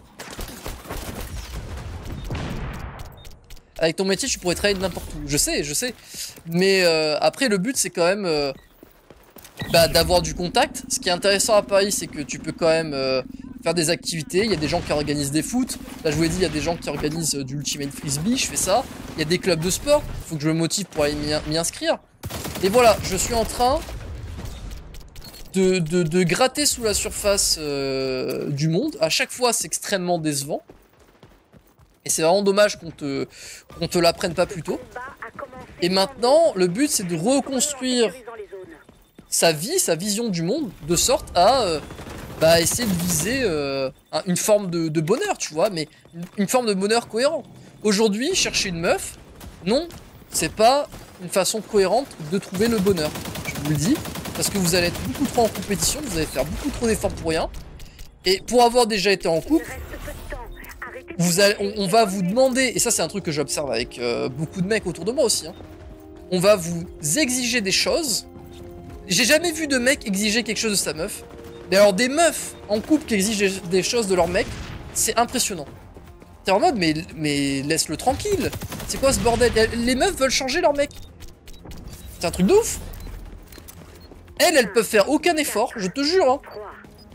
Elles peuvent euh, passer leur journée sur, euh, sur leur téléphone à, à- scroller Instagram. Mais, toi, il faut qu'on change des trucs. Elles peuvent pas t'accepter avec tes avantages et avec tes défauts, tu vois. C'est un, truc de malade. Tout ce qui, te reste, tout ce qui reste, c'est de transmettre tes valeurs dans tes œuvres. Exactement. Ça, par contre, effectivement, euh, la pensée, la pensée révolutionnaire, etc. Ah putain, il me restait un peu de café, il va être froid là. Attendez, je le bois quand même parce que j'ai besoin d'énergie. Hum, il faut imaginer ça comme un café glacé du Starbucks. Ah, c'était pas très bon. Euh, oui, après, moi quand j'écris mes œuvres, c'est très important. Je n'écris pas mes œuvres comme étant des œuvres politiques. Évidemment, on sait tous, voilà, tout est politique, etc. Et Voilà. Mais il n'y a pas cette volonté de quand j'écris l'œuvre, d'abord elle est politique. Le but quand j'écris une œuvre, c'est d'abord de divertir les gens. C'est de leur proposer, de leur provoquer de la joie, du bonheur, du divertissement. Derrière, je sais que c'est intéressant parce que c'est ce que je, viens chercher en fait au fond un être humain, c'est que dans les histoires, il y a des leçons à en tirer. Et je considère que j'ai une vision du monde suffisamment poussée pour que quand je vais transmettre des messages ou qu'il y a des conclusions à tirer de mes œuvres, que ce soit des, conclusions que je considère comme étant positives euh, pour, euh, pour la société, pour euh, l'avancée de, de, la civilisation humaine, quoi, tu vois. Voilà. Après, j'avoue que c'est pas ce que je recherche dans un premier, dans un premier temps. Je pense pas que c'est moi qui vais provoquer la, la révolte populaire ou un truc comme ça. Déjà, si je peux faire kiffer les gens, tu vois, comme fait kiffer les gens un, un Hunter Hunter, je suis déjà très très très content, tu vois. Pour avoir été en couple, je confirme. Voilà, Darwin. euh, C'est un truc de ouf. Les mecs, vraiment, quand ils sont en couple, les meufs leur exigent des trucs. Moi, j'ai une pote avec qui, donc, on, on, on- on faisait un petit peu des scénarios, on se lisait nos, nos- nos trucs et on se faisait des retours, tu vois. Et je l'ai aidé à se faire éditer euh, sur, euh, sur Webtoon. Elle avait un mec, et donc à chaque fois, elle m'en parlait. Elle me disait, il fait ci, il fait ça. Tu vois, elle s'en plaignait, quoi. J'étais en mode, mais. Là, je suis la grappe, un petit peu. Genre, c'était des trucs. euh, le gars, euh, à ce moment-là, bah. Il trouvait plus trop de taf, ça lui, ça lui, plaisait plus trop ce qu'il faisait. Euh, il préférait kiffer. Il, avait- il avait le chômage, genre il touchait, un, je crois qu'il touchait l'intermittence du spectacle. Et bah du coup, il profitait de son intermittence, il jouait aux jeux vidéo avec ses potes et tout. Enfin, il kiffait sa vie, tu vois. Et ça la faisait chier. Ça la faisait chier. Elle voulait que son mec, euh, il soit plus ambitieux, qu'il aille chercher des trucs et tout. Et je suis en mode. Alors déjà, c'est ouf parce que vraiment, il y a ce côté où elle, elle était ambitieuse, donc son mec, il fallait qu'il soit aussi au moins ambitieux. Alors que nous, les mecs, c'est pas le problème. On, on re- on remarque, comme on l'a dit, plutôt le phénomène inverse. Les mecs veulent des, des femmes qui sont au-dessous d'elles, ce, ce qui est très triste, ce qui est très dommageable. Je sais que je juge pas du tout par rapport à ça. Par contre, ça a bon dos de venir se, plaindre en mode meuf féministe. Je viens me plaindre que là, les mecs, ils veulent des meufs qui sont au- au-dessous d'elles. Mais quand elles, elles sont en couple, elles veulent pas d'un mec qui soit au- au-dessous d'elles non plus. Donc euh, ça marche comment? Tu veux pas te mettre avec un mec qui entre guillemets est moins ambitieux et a moins réussi que toi? Euh, Mais du coup, tu, provoques aussi le phénomène en fait. C'est c'est tellement con. Je te dis pas de couper son micro des autres. Oui, attends, je vais le faire. Désactiver le chat vocal. Ça marche là Attends, je crois que ça le fait pour tout le monde. Non Acti- Ah, là c'est désactivé, je crois. C'est bon. Elle me disait, moi je fais des efforts et tout. Elle faisait rien. Mais pareil, je te jure, elle, elle me disait la même chose. C'était attention, je trouve que c'était quelqu'un de, c'était une bonne personne, quelqu'un de très sympathique. Et c'est peut-être quelque chose de, société, ou alors peut-être que, je sais pas, c'est les hormones, je sais pas ce que c'est, je, sais pas pourquoi, c'est un phénomène euh, aussi répandu. La meuf qui essaye de changer son mec, je ne sais pas pourquoi. Voilà. Effectivement, elle me disait pareil, moi je fais des efforts et tout. Et elle faisait aucun effort. En fait, les efforts qu'elle faisait, c'était genre les efforts d'accepter qui j'étais. Tu vois Genre, euh, en gros, il y a des trucs qui la faisaient chier. Et elle faisait l'effort de ne pas regarder les trucs qui la faisaient chier. Ce qui était faux parce que du coup, le moindre truc à con, hein, genre une de nos plus grosses disputes, c'est parce que je voulais, quand j'étais chez moi, je voulais me balader pieds nus. Voilà. Moi, je suis un gars, je considère que voilà, pieds nus, j'aime bien. Je sais pas, je me sens bien quand je suis pieds nus. Et euh, dehors, bah on peut pas, on est obligé d'avoir les pieds fermés là comme ça dans des chaussures. Ça m'emmerde. Voilà. Quand je suis à la maison, j'ai envie d'être libre, j'ai pas envie d'avoir des chaussettes et d'avoir les pieds euh, euh, serrés comme ça. euh, non, j'ai envie qu'ils respirent. C'est pas une question que je pue des pieds, au contraire, je pue des pieds si je porte des. Mes pieds, justement, bah. Et tous les pores sont serrés par des chaussettes, bah je vais puer des pieds. Voilà, ça, ça va suer, ça va macérer. Par contre, si j'ai les pieds à l'air libre, je peux te dire que je pue pas des pieds. Voilà. Et ça me faisait chier parce que, puisque le sol était un peu poussiéreux, chez elle notamment, bah du coup, bah je sais pas, j'avais les pieds poussiéreux. Je lui dis, mais c'est pas de soucis, quand je vais dans le lit, si tu veux, je me lave les pieds avant et tout. Mais ça l'emmerdait, je te jure. C'était un sujet de discussion permanent. J'étais en mode, mais tu. Faut arrêter de m'emmerder pour mes pieds. euh. Et tu sais, je me suis dit, il faut pas que je cède sur ça parce que c'est vraiment débile. Faut pas que je cède là-dessus parce que c'était tellement mécanique de dire dès qu'il y avait un, un truc qui l'agaçait un tout petit peu qu'il fallait que ce soit un reproche et qu'il fallait que je change ce, comportement. Je me suis dit, si je cède sur les pieds, il y a autre chose qui va devenir un sujet de conversation. Genre, si elle n'est pas capable de faire l'effort de, de juste se dire, bon, c'est pas grave que Julien il se batte pieds dans la maison, si elle n'est pas capable de faire l'effort là-dessus, dès que je vais accepter, dès que je vais céder sur le fait de plus avoir les pieds dans la maison, elle va trouver autre chose. Et puis ça sera encore autre chose. Et puis ça sera encore autre chose. Et après, qu'est-ce que je vais faire? Je vais être un, robot. Dit, pas gêner la, pas gêner euh, la personne qui t'es en couple. Bah non, c'est pas possible, c'est pas vivable ça. C'est flashback, euh, flashback de ma première belle-mère, ça. Tu vois ce que je veux dire?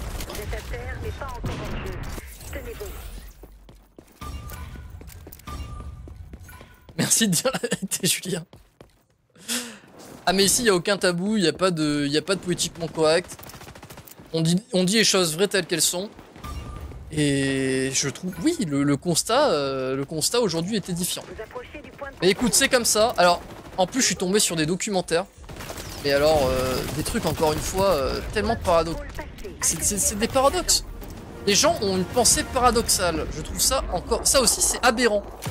Et alors, qu'est-ce que je regardais? Je regardais un truc où il disait voilà, les mecs avec la société actuelle, ils ont décidé de de- de- d'arrêter de, de penser aux meufs. Voilà. Genre, en gros, qu'il pouvait se passer des meufs. Et t'avais les. Après, hein, euh, comment la société fonctionne T'avais des, des, meufs, genre des expertes dans leur domaine de je sais pas quoi, qui passaient comme ça en interview, qui disaient Vous vous rendez compte Vous vous rendez compte comment c'est euh, c'est dégueulasse de voir des mecs qui se disent prêts à se passer des meufs Et euh, quand, les mecs disent se passer des meufs, c'est en mode de pas être en couple, hein. c'est pas en mode euh, comme les, certaines féministes vont dire Ah oui, faut tuer les, faut tuer les mecs au berceau. euh, euh, tous les mecs sont des porcs, on préfère les ours aux, mecs dans la forêt. Non, non, c'est juste les mecs qui disent bon, les, dés sont pipés. Euh, De toute façon, je ne peux pas me mettre en couple ou alors être en couple et heureux. Donc, je vais vivre pour moi. Voilà, je vivre pour moi et simplement pour moi. Et voir comment je peux être heureux autre- autrement. C'était ça qui était dit globalement. Et t'as la meuf, comme ça, l'experte qui dit Mais c'est une honte. Les mecs qui pensent pouvoir se passer des meufs. Mais vous vous rendez compte du sexisme, nani. Et, et- et je suis en mode Mais. Qu'est-ce qu'ils peuvent faire ces pauvres types En fait. Parce que. S'ils doivent chercher à se mettre en couple, ça doit devenir des esclaves.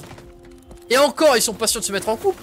Et quand on leur dit c'est impossible pour toi de se mettre en couple, et du coup, ils font une évolution, ils acceptent les faits et décident d'être heureux et d'être épanouis autrement, on dit que c'est des merdes humaines, mais on touche le fond. Alors moi, elle voulait me transformer en son mec toxique. Elle était là, ouais, j'aime bien les disputes de temps en temps. Mais ça, c'est aussi un truc, bah, effectivement, que j'observe.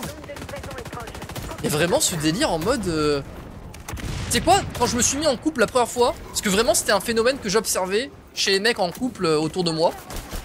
Euh, je vous ai déjà raconté cette histoire d'une meuf qui était vraiment au-dessous euh, de la qualité de son mec dans, l'école dans l'école de cinéma dans laquelle j'étais et qui tapait des dramas devant tout le monde en plus, elle s'affichait à pleurer pour le moins de trucs.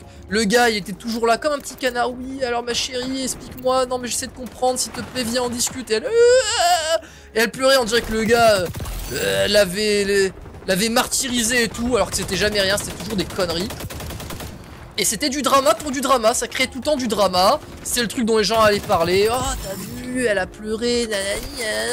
Et c'était la petite star, la petite star de sa petite euh, série euh, Les Feux de l'amour, là.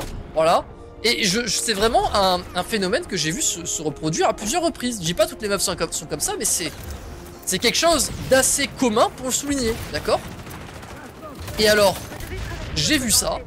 Quand j'ai commencé à décider à me mettre en couple et que il y a eu la discussion, parce qu'au départ, voilà, je, vais avec une meuf, ça, ça, ça, ça connecte tout de suite euh, sur le plan physique, etc. Tu vois.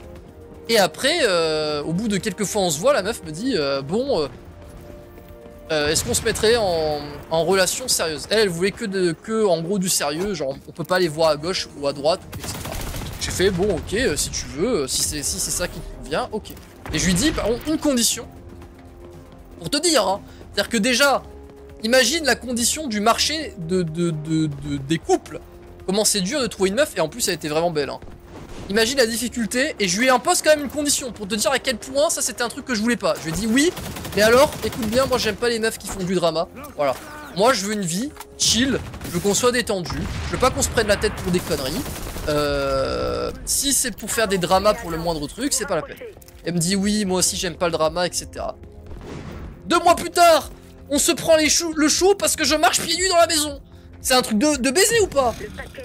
Il y, a- quelque chose, il y a, un truc dans le cerveau de, de- ces meufs en mode il faut que je crée du drama, genre. Est-ce que tu imagines à quel point il faut chercher la petite bête dans sa vie pour créer un drama parce que ton mec il aime bien se balader pieds nus dans la maison? Est-ce que tu imagines ou pas? En vrai, si c'était. Quand je me dis c'est ça le truc dont, dont, ma, copine se plaignait, c'est que vraiment. Vraiment, je dois, je dois être quand même un, bon produit, quoi, tu vois. Genre, si vraiment le, truc, il a fallu chercher la petite bête jusqu'à ça, pour se plaindre, c'est que vraiment, je devais plutôt être un bon produit, tu vois. Mais il y a quand même, il y a quand même eu moyen de trouver du drama, c'est un truc de ouf. Fallait juste passer le balai, MDR. Mais tu crois que j'allais passer le balai euh, Non. Je fais pas le ménage chez moi, j'allais pas faire le ménage, euh, j'allais pas faire le ménage chez elle. Mais alors, à aucun moment, elle a, eu le culot de me demander de passer le balai chez elle, tu vois. Mais les pieds, frère. Mais alors j'ai trouvé, voilà, vraiment la parade, c'est de dire, voilà, si le problème c'est les pieds euh, sales et du coup, parce que genre elle avait peur que je les mette sur le coup, j'ai dit, voilà, et bah juste avant de, rentrer dans le lit, je me lave les pieds, c'est pas grave, je passe un coup sous la douche les pieds, voilà. Mais tu sentais que ça faisait quand même chier, je te jure que ça a été un sujet de discussion pendant trois mois, cette merde. Alors évidemment, dès que ça y est, le compromis a été accepté de je me lave les pieds avant d'aller sur le lit, il a fallu trouver autre chose. Il a fallu trouver autre chose. Mais tu sais que elle, était amie avec un couple. Euh, à un moment, elle avait des. Elle, a eu droit à. euh, Parce que vous savez, elle avait eu un problème à cause du vaccin.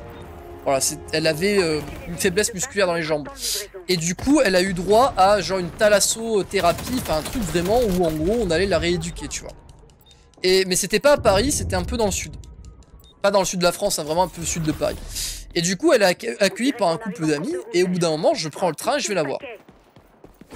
Et je te jure, il y vivaient dans une petite maison. Elle, euh, elle pouvait pas euh, marcher sur de grandes distances. Elle pouvait se tenir un peu, elle pouvait se tenir un peu debout, mais sur les grandes distances, il fallait absolument qu'elle soit en fauteuil.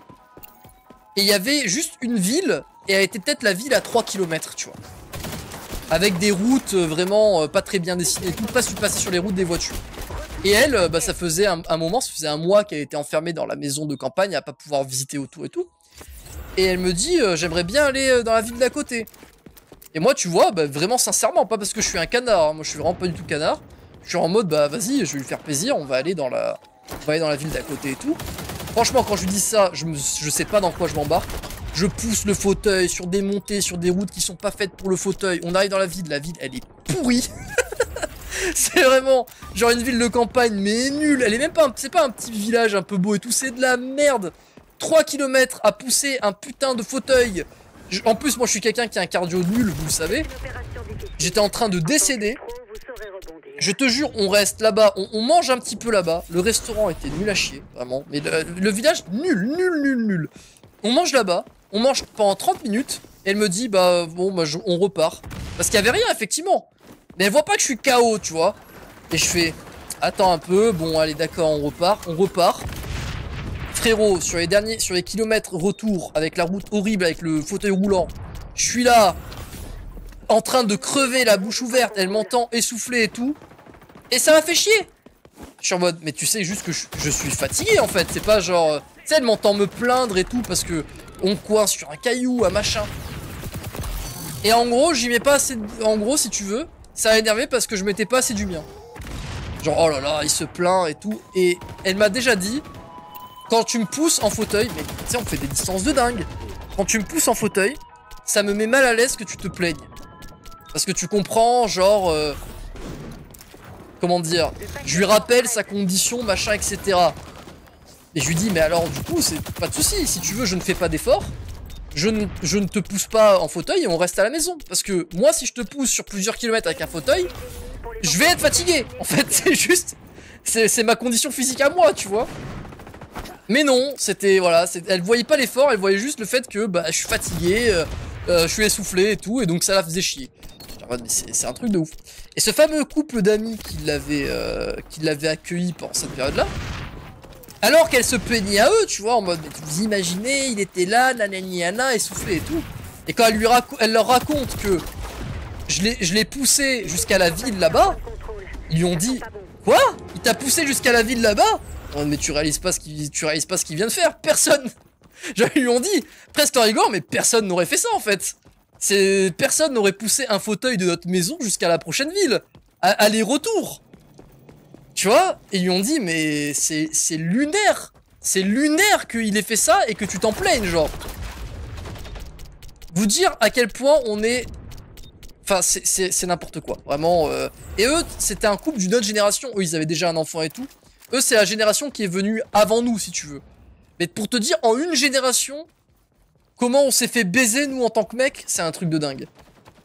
Parce que le mec, comme la meuf, trouvait ça lunaire, hein, la situation. Que au lieu, tu sais, tu fasses l'effort. Moi, je m'attends rien, tu sais, je fais l'effort parce que ça me fait plaisir de le faire. Vraiment, je me dis, bon, voilà, effectivement, elle a pas pu bouger de la maison pendant un mois, je vais la bouger, tu vois. Je fais l'effort parce que ça me fait plaisir. J'ai même pas besoin d'un merci. J'ai même pas besoin qu'on me dise Oh Julien, franchement, tu es mon chevalier blanc. nan. Rien à foutre, je m'en fous. Ça me fait juste plaisir de le faire. Mais tu le fais et en plus on te fait un reproche, tu vois. C'est un truc de dingue. Et le couple, je te jure, qui, qui, je leur demande pas de prendre ma défense. hein. Juste vraiment, ils sont en mode mais. Mais c'est dingue. C'est dingue ce qu'on est en train d'entendre. J'ai vraiment l'impression que être en couple, c'est s'occuper de quelqu'un. C'est ça. Faut que tu.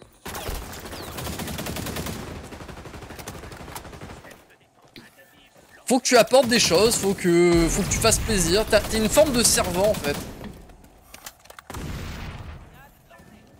Être en couple, c'est censé être un bonus à la vie, pas une contrainte. Exactement. Mais les gars, ça y est, c'est fini. Terminé cette histoire de couple là, c'est ciao, j'ai compris. Si je veux être en couple, c'est je, je vais je vais dans un autre pays. Moi, franchement, être en couple, c'est très très très peu important pour moi. C'est, je vais me concentrer sur autre chose dans, je vais me concentrer sur autre chose dans ma vie. Je trouve ça juste très très triste en tant que genre société avancée. En tant que, t'as une moitié d'individus, les hommes, voilà, 50% de la population qui doit être privée, qui doit se priver d'un besoin primaire pour être humain. Voilà, on, on doit se priver, c'est tout.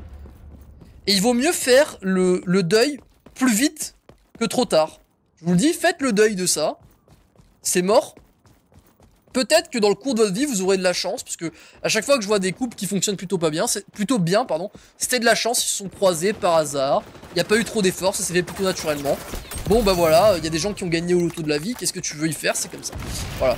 Mais euh, sinon, laissez tomber. Hein.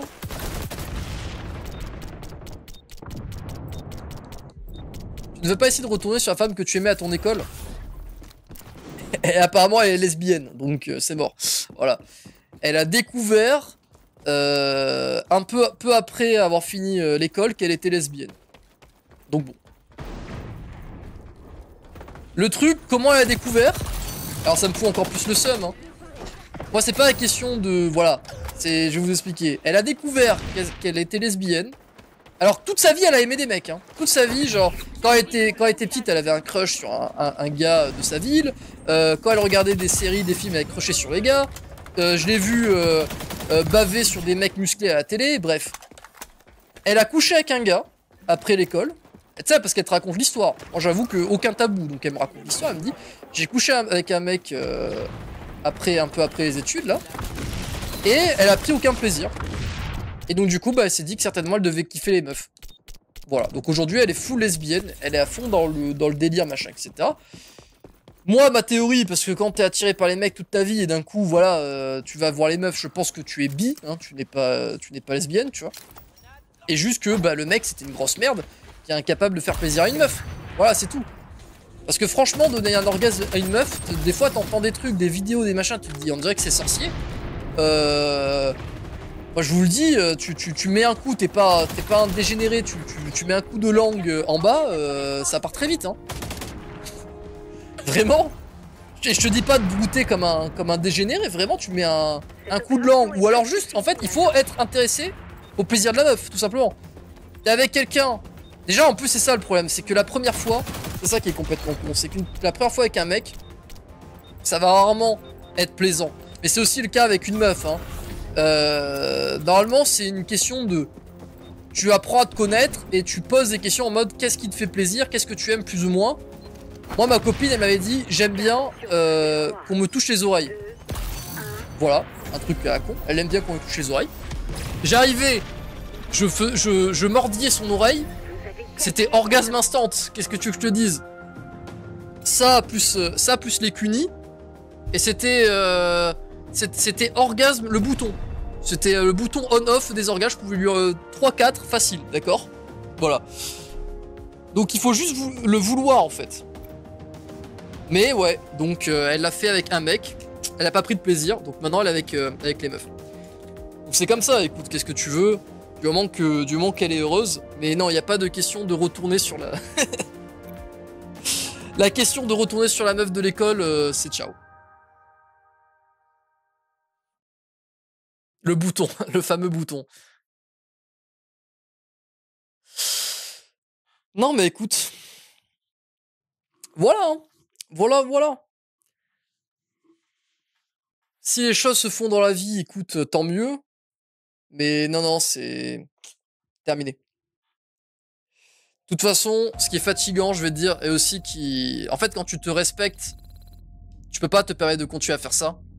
Surtout dans, un jeu où le- le- les dés sont aussi pipés.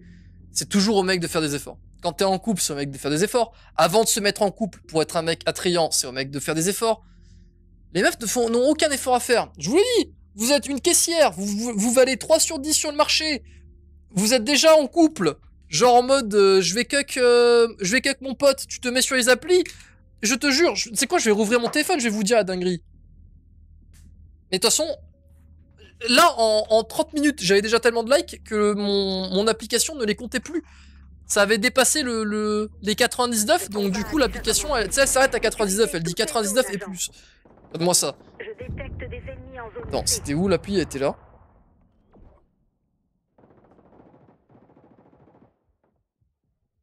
Voilà, 99 plus like. Depuis, j'ai reçu 10 messages alors que j'ai matché avec personne. C'est donc des gens euh, qui ont payé sur l'application pour m'envoyer un message. Mais je vous jure, attendez, là, il y a un gars, il s'appelle Chris. Si je vous montre les photos... Non, c'est n'importe quoi. Et j'avais vraiment des, des, des, des beaux gosses. Là, il y en a un. Il est vraiment beau gosse, genre. Et il m'a envoyé, il m'a envoyé le premier message. Non, je suis, je suis, je suis terrifié. Je suis terrifié. Sécurisez toutes les zones, agent. Parce que, tu sais, il y a plein de gens qui ont fait des tests. J'ai, j'ai, vu des vidéos où des gens ont fait pareil, ont zones créé un fake compte euh, meuf. Mais les gars, ils ont pas poussé le vice assez loin. Ils disaient, ouais, j'ai pris le- la photo d'une meuf qui était genre une 7, 7,5, tu vois. Et j'ai regardé sur les applications, et effectivement, j'ai beaucoup plus de likes que quand je suis un mec. Et moi je me suis dit, mais 7 ennemis, je crois que t'as pas saisi l'ampleur du délire. Moi je me suis vraiment parti du principe, je je suis allé sur une autre rapide rencontre, comme je vous l'ai dit, j'ai scrollé les profils jusqu'à trouver un profil d'une meuf vraiment pas attrayante. J'ai tapé ses photos, j'ai mis son profil sous un autre nom sur une autre rapide rencontre pour voir. En 30 minutes, plus de 100 likes, des, me- des- des- des messages en veux-tu, en voilà, et de mecs vraiment pas mal. Et je vous dis, dans l'eau, il y a des 8 sur 10. Mais quand je vous dis 8 sur 10, c'est des types vraiment beau visage, euh, bien coiffés, bien rasés, avec de la répartie, euh, les abdos, des beaux bras, et qui prennent des photos, euh, on dirait des photos, c'est- des photographes professionnels qui ont pris les, les photos, frère. Prenez les zones, gardez les zones. Vous Bah, connaissez c'est- la ça y est, c'est ciao. Juste, salut. Poisson fécond avait fait le test aussi. Ouais, Poisson fécond avait fait le test et t'avais Micode aussi qui avait fait le test. Micode, lui, il avait poussé le, le bouchon loin. Il avait mis une, il avait créé un f- un- une photo de, enfin pardon, un fake profil féminin sur une appli et il avait mis une photo genre euh, de plage. Voilà, on voyait pas la meuf. Et il avait eu plein, plein, plein de sollicitations. Juste une photo de plage au pif. Mais tu vois, moi je trouve qu'une photo de plage au pif. moi je sais que personnellement, sur une appli de rencontre, une photo de plage au pif, au m'attirerait plus qu'une photo de meuf moche. Parce que vraiment, je vous le dis, c'est juste viscéral, une meuf moche. Ah, c'est comme ça. Je dis pas attention, c'est pas une question de dénigrer en mode euh, vous pouvez ne pas être attrayant physiquement. C'est pas pour ça que je vais pas vous parler. euh, c'est pas pour ça qu'on peut pas être potes. C'est pas pour ça que je vais pas vous considérer bien comme, comme individu. C'est juste que quand on parle de, relations et physiques, d'attirance euh, physique et sexuelle, bah oui, oui, dans, dans l'attirance physique, le physique compte. Ouais, je suis désolé. Et bah, une meuf pas très belle, physiologiquement, c'est pas, c'est pas un choix, hein, parce que des fois t'as l'impression que, encore une fois, les féministes vont dire oh là là, les meufs moches, euh, nanana, comment vous les traitez, nanana, tout le monde est beau et tout. Mais c'est physique en fait. Genre c'est de l'attirance physique. Moi je ne peux pas, c'est pas possible. Je, ne peux pas être, euh, comment dire, bandé tout simplement. Voilà, c'est le, la réaction physiologique de base. Tu me dis, euh, bah euh, va, euh, chope, euh, chope une meuf moche. Mais ce n'est pas possible. C'est juste pas possible. Je vais être euh, un marshmallow fondu, hein. Ah, vraiment, t'entends des trucs lunaires des fois. Donc disons qu'avec une photo de plage, bah tu peux te dire bon, peut-être que la meuf, euh, peut-être que la meuf, elle est ok, tu vois. Alors qu'à une photo de meuf pas ok, bah eh, tu le sais déjà, c'est bon.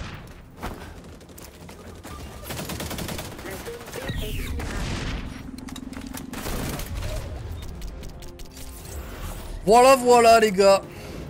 Donc euh, bon,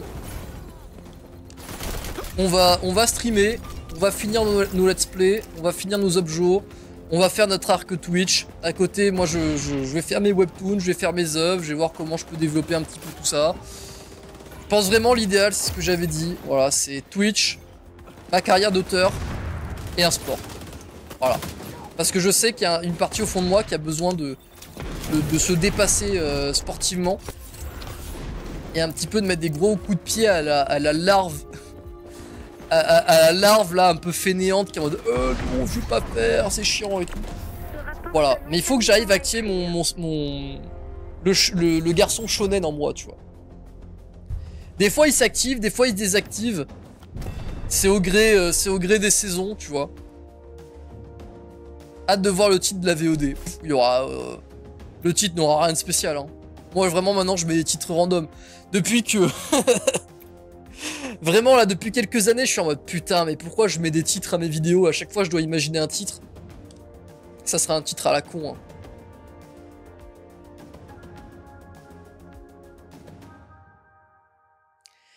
Mais ouais, moi, je vais pas vous mentir, hein, la vie rêvée, euh, c'est vraiment. euh, tu rencontres, euh, tu rencontres quelqu'un, c'est un vrai. c'est un vrai amour. C'est-à-dire que pour moi, ça serait une personne que au-delà de l'attirance physique, c'est une amitié, c'est quelqu'un que tu considères comme de la famille en fait. Voilà. Et ça m'est arrivé une fois dans la vie. Les choses n'ont pas fonctionné comme elles auraient, comme, elles auraient pu peut-être. Tant pis, c'est comme ça. Aujourd'hui, il n'y a rien à y faire. De toute façon, le problème, et c'est encore un truc de société, tu peux avoir des sentiments sincères, tu peux... En fait, le, délire, si tu veux, c'est que si tu insistes sur ce point-là aujourd'hui, tu es un cinglé. Voilà. Moi, je coupe les trucs. Surtout que je suis dans un milieu... euh, je, travaille dans le milieu artistique, dans le milieu machin, etc. Où ces idées, elles sont encore plus fortes d'un point de vue, euh, enfin, dans la sphère professionnelle. Je peux pas me permettre, je suis obligé de prendre euh, mes sentiments sincères, les foutre dans une boîte, les jeter au fond, euh, au fond d'un trou, et on n'en parle plus. Parce que si tu reparles du truc, moi j'ai toujours une relation avec cette personne, mais c'est une relation euh, cordiale, peut-être amicale, mais surtout professionnelle. C'est-à-dire que euh, j'ai envie d'être quelqu'un de juste dans la vie, dans tout ce que je fais. Et quand j'ai commencé un petit peu à, percer dans Webtoon, je me suis dit, voilà, là j'ai de plus en plus d'opportunités qui viennent à moi. Comme je l'ai toujours dit, j'ai conscience de la chance que j'ai, c'est-à-dire euh, de la suite d'événements qui m'ont conduit, même si j'ai beaucoup travaillé, hein, mais il y a une suite d'événements qui m'ont conduit à faire ce métier-là. Il y a euh, le fait que j'ai pu sacrifier euh, des années de ma vie alors que je gagnais au- aucun argent sur des projets de webtoon pour pouvoir confirmer cette chance, cette opportunité que j'avais de travailler là-dedans. Et pour faire ça, c'est parce que bah j'ai un revenu qui tombe tous les mois parce que j'ai hérité de l'appartement familial. Voilà. Ça, c'est des conditions très particulières que tout le monde n'a pas. Ok? Et je me suis longtemps fait la réflexion quand je travaillais pour Webtoon et que le but c'était de valider euh, cette opportunité. Très souvent, je me suis dit, mais le travail que je mets, le temps, l'énergie, l'investissement, si j'avais pas un salaire qui tombait tous les mois sans avoir à travailler à côté, je n'aurais jamais pu faire ça. C'est-à-dire que il, fallait gagner au loto pour avoir l'opportunité et en plus, il fallait avoir un revenu constant pour être quasi bénévole pour valider l'opportunité aujourd'hui. Et je me suis dit, mais aucun autre de mes collègues dans mon école de scénario, qui ont tous un certain talent pour le scénario, parce qu'il y avait un concours d'entrée qui est extrêmement sélectif, hein, qui ont tous un certain talent, qui sont tous plutôt motivés pour faire ce métier, jamais ils auraient pu faire euh, la même chose que moi, parce qu'ils n'avaient pas les mêmes conditions financières. Et donc pour moi, la justice, c'est de faire que maintenant que j'ai des opportunités qui se multiplient, c'est de proposer ces, opportunités autour de moi. Voilà. Alors ce qui est, assez étonnant et euh, ce qui peut être assez blessant, c'est que des fois je propose ces opportunités et j'ai l'impression que les gens ne saisissent pas la valeur de ces opportunités. Des fois tu peux proposer, vraiment c'est genre je propose littéralement des fois des, boulots de scénariste professionnel, des trucs que personne ne viendra te proposer en fait. Et des fois c'est pas pris, euh, c'est pas pris au sérieux et il n'y a pas de travail derrière. Tu sais, on te, on te dit juste voilà c'est sérieux sur un plateau, il y a juste à travailler. Le travail n'est pas fait, tu vois? Et tant pis hein. Et euh, elle, ça a été une des personnes pour le coup qui a le plus travaillé parmi les gens à qui j'ai proposé, euh, j'avais proposé cette opportunité là. Et c'est parce que vous savez que je travaille sur un, un webtoon romance en ce moment. C'est une dessinatrice extrêmement talentueuse. Et moi je sais que euh, les webtoons romance, c'est pas forcément ce que je consomme. Et euh, ça serait pas forcément le plus pertinent que j'écrive des scripts de webtoon romance. J'ai écrit le scénario, j'ai écrit le fil rouge, mais les scripts précisément, je pense que c'est pas c'est pas à moi de, le faire. Il y a des gens qui sont beaucoup plus compétents pour le faire. Et puisque je suis quelqu'un qui veut faire les choses justes, je me suis dit deux choses. Je me suis dit déjà, clairement, je vais pas offrir d'opportunités à des gens plutôt que d'autres parce que bah, j'ai des sentiments spéciaux pour eux. Donc par exemple, cette fille, euh, il y a trois ou quatre personnes à qui j'ai proposé des opportunités avant elle. Parce que les opportunités en question collaient beaucoup plus à leur profil. Tu vois. Et ensuite, quand j'ai eu cette opportunité du webtoon romance qui est tombée, et que je sais que cette fille est plutôt intéressée par ce type d'histoire, elle, adore la culture coréenne, elle adore les K-dramas, elle a un frère qui fait de la K-pop et tout, je me suis dit, là quand même, c'est le truc qui colle, tu vois. C'est logique de lui proposer l'opportunité. Je suis allé lui proposer l'opportunité. Voilà. C'est-à-dire qu'il n'y a pas. Tu vois, le but c'est de faire en sorte que, puisqu'il y a des sentiments pour cette personne, mais que je les mets dans une petite boîte, je les mets au fond du trou, c'est de la traiter comme quelqu'un, comme n'importe qui d'autre. C'est-à-dire qu'il n'y a pas d'avantage par rapport à quelqu'un d'autre, Il n'y a pas de désavantage non plus. Je vais pas être un gamin en mode Oh non, j'avais des sentiments pour cette personne, il ne s'est rien passé. Du coup, euh, tu peux être brossé pour, euh, pour que je t'offre un truc. Tu vois ce que je veux dire Les alliés sont Voilà, voilà. On essaye. Après, euh, je sais que très souvent, bah, il faut rien attendre euh, des, autres dans la vie, tu vois. Moi, j'essaie d'être juste, mais je sais que j'ai une attente des gens qui est très très euh, très très basse. J'ai proposé des opportunités. J'ai jamais réellement eu d'opportunité en retour. j'ai pas, j'ai pas vraiment de de, de, de re- renvoi d'ascenseur. On peut dire peut-être j'ai la satisfaction d'avoir fait ce qui était juste. Voilà, c'est tout. C'est déjà, c'est déjà ça de prix. La zone de capture se déplace. J'envoie son nouveau lieu sur votre Il y a une personne de l'école qui m'a proposé une opportunité. Mais franchement, l'opportunité, euh, elle avait pas l'air très sérieuse. On, on a travaillé, on a fait le boulot, parce qu'il y avait moi et quelqu'un d'autre à qui on avait proposé l'opportunité. On a fait le travail, on a fait le travail sérieusement. Franchement, au départ, on avait été bien traité et tout. On a eu le droit un peu en, mode VIP. euh, le but, c'était d'écrire un scénario euh, VR. Enfin, exploration euh, de réalité virtuelle. Un peu les trucs qu'on propose aux touristes. Et alors, la personne qui nous a proposé cette opportunité, elle travaillait en tant que guide dans ces expériences VR. Et donc, on a eu le droit de tester en VIP une expérience VR où on a exploré la, on a exploré Notre-Dame, tu vois, à travers les âges. Vraiment très cool et tout. On se dit ok, l'opportunité est sérieuse. On fait notre travail, on rend le, ce qu'on nous a demandé. Puis après, pas de nouvelles pendant genre 6 mois, pour finalement qu'on nous dise bon bah le truc a pas été sélectionné et genre ils sont passés à autre chose. Bon voilà, Oh, donc ils se sont même pas, euh, comment dire, posé la question de, nous tenir informés en fait, de nous dire bah voilà vous avez bossé pendant des heures et des heures pour rien quoi. Au moins ça, au moins nous dire bon bah désolé, le truc a pas été retenu. Ils auraient pu nous dire bah on va quand même essayer parce que s'ils étaient ils prenaient vraiment le truc sérieusement ils nous auraient dit euh, on va quand même pas lâcher, on va essayer de, de- faire que le projet euh, bah, que le projet aboutisse. Peut-être que ce scénario n'était pas le bon. Est-ce que vous pouvez le revoir? Voilà les retours qu'on a eu. Voilà comment il faudrait le retravailler. Est-ce que ça vous dirait euh, de, de le faire? Est-ce que ça vous dirait pas de le faire? Parce que peut-être qu'on vous a déjà demandé un peu trop Non, rien, aucune nouvelle. Il a fallu au bout de 6 mois qu'on se dise bon là quand même, euh, on, on- on nous, on nous dit plus rien quoi. C'est presque Ghost. Bon, écoute, La zone est en danger. on est niveau combien là, depuis tout à l'heure Putain, on a passé que deux niveaux. On passerait beaucoup plus de nive- de niveaux si j'étais euh, vraiment bien plus focus sur le jeu à, à enchaîner les frags et, euh, On s'empare de la zone. et les objectifs, mais bon. Mine de proximité en place. Je sais aussi que vous aimez bien ces, ces lives là où on discute de différents sujets. euh. D'ailleurs, on a été assez nombreux, on a été ju- jusqu'à 7 au- aujourd'hui. Là, voilà, c'est moins croustillant donc les gens sont un petit peu partis et puis le live commence un petit peu à s'éterniser. Donc là, je finis cette game et on arrêtera. euh, on arrêtera là. On refera peut-être un live dans la soirée. C'est bien un 7, hein. Franchement, euh, je vois que ça grimpe. On arrive à taper des lives. Si on, on arrive à taper des lives euh, prochainement régulièrement à 7, puis à 10, puis c'est comme ça, hein. On grind, on grind.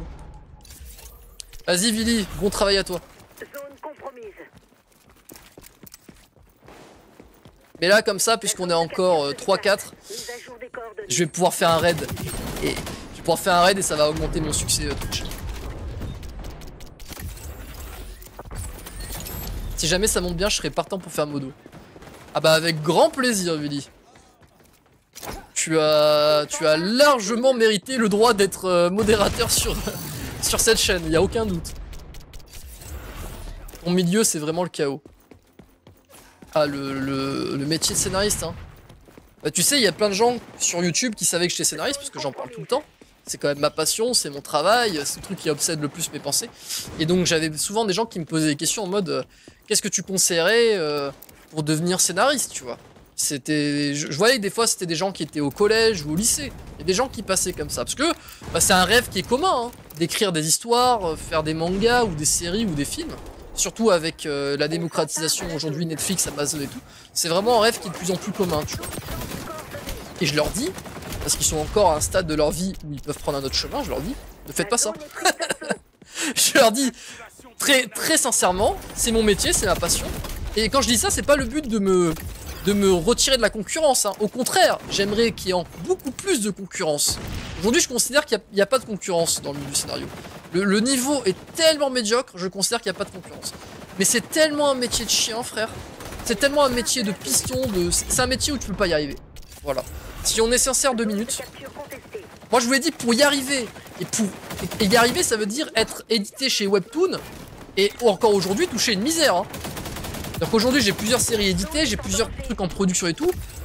Je ne suis même pas au SMIC aujourd'hui, d'accord, en termes de revenus, et j'ai pas la, de protection sociale, c'est-à-dire que demain je peux pas euh, dire euh, voilà arrêt de travail et être payé, euh, je, je touche pas le chômage, je ne cotise pas pour la retraite, je suis pas au SMIC aujourd'hui, avec quasiment bientôt 4 ans d'expérience. Je suis à ma troisième série éditée sur la plateforme.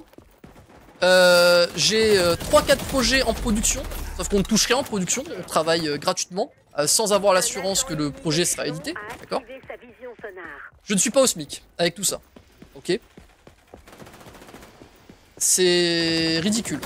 Imagine quelqu'un qui ne touche pas un salaire tous les mois. Voilà, moi je suis rentier, je le dis, voilà, c'est comme ça, c'est l'enchaînement d'événements dans ma vie qui a fait que, que je suis rentier. Hein, euh, ça, ça demande quand même à ce que mes parents ils, se- ils ont divorcé très tôt, que ma mère n'a fait que travailler toute sa vie comme une chienne sans s'occuper de son enfant euh, pour me laisser à la fin un appartement et un peu de sous. euh, voilà, j'ai quelques dizaines de milliers d'euros en compte en banque, c'est très bien. Hein. Franchement, je sais qu'il y a des gens pour faire ces économies là. Ils vont cravacher, euh, je dis pas que j'ai pas de chance par rapport à ça, mais il y a eu un sacrifice. Voilà. J'ai pas eu de, vie euh, familiale. Euh, ma mère est morte quand j'étais très jeune, à 20 ans. J'ai pas de frères, j'ai pas de sœurs. Évidemment, si j'avais des frères et des sœurs, euh, bon bah déjà, j'aurais de la famille. Mais vous vous doutez que du coup, l'héritage aurait été partagé. J'aurais pas eu cette situation non plus. Donc ça demande quand même un enchaînement de conditions et euh, on peut pas vraiment appeler ça des sacrifices parce que j'ai pas eu le choix. Voilà, c'est comme ça, ma vie a été comme. Et bah, il, a- il faut ça, plus tout le travail, plus tous les sacrifices, plus toutes ces années d'expérience pour arriver là au, au stade où j'en suis, là, plus vraiment, mais comme je vous l'ai dit, un alignement des planètes. Vraiment, il y a toutes les planètes de la galaxie qui se sont alignées pour me permettre d'avoir cette opportunité dans le web. D'accord? Donc quand quelqu'un arrive et me dit Qu'est-ce que tu conseilles à un scénariste en herbe, quelqu'un qui voudrait faire scénariste son métier? Je lui dis Ne fais pas scénariste. Ne, cherche pas, ne cherche même pas à faire scénariste. Il vaut mieux que tu te trouves un autre métier, une autre passion très rapidement, dans laquelle tu peux faire quelque chose. Voilà. Je vais vous dire, moi je suis pas quelqu'un qui brise les rêves des gens.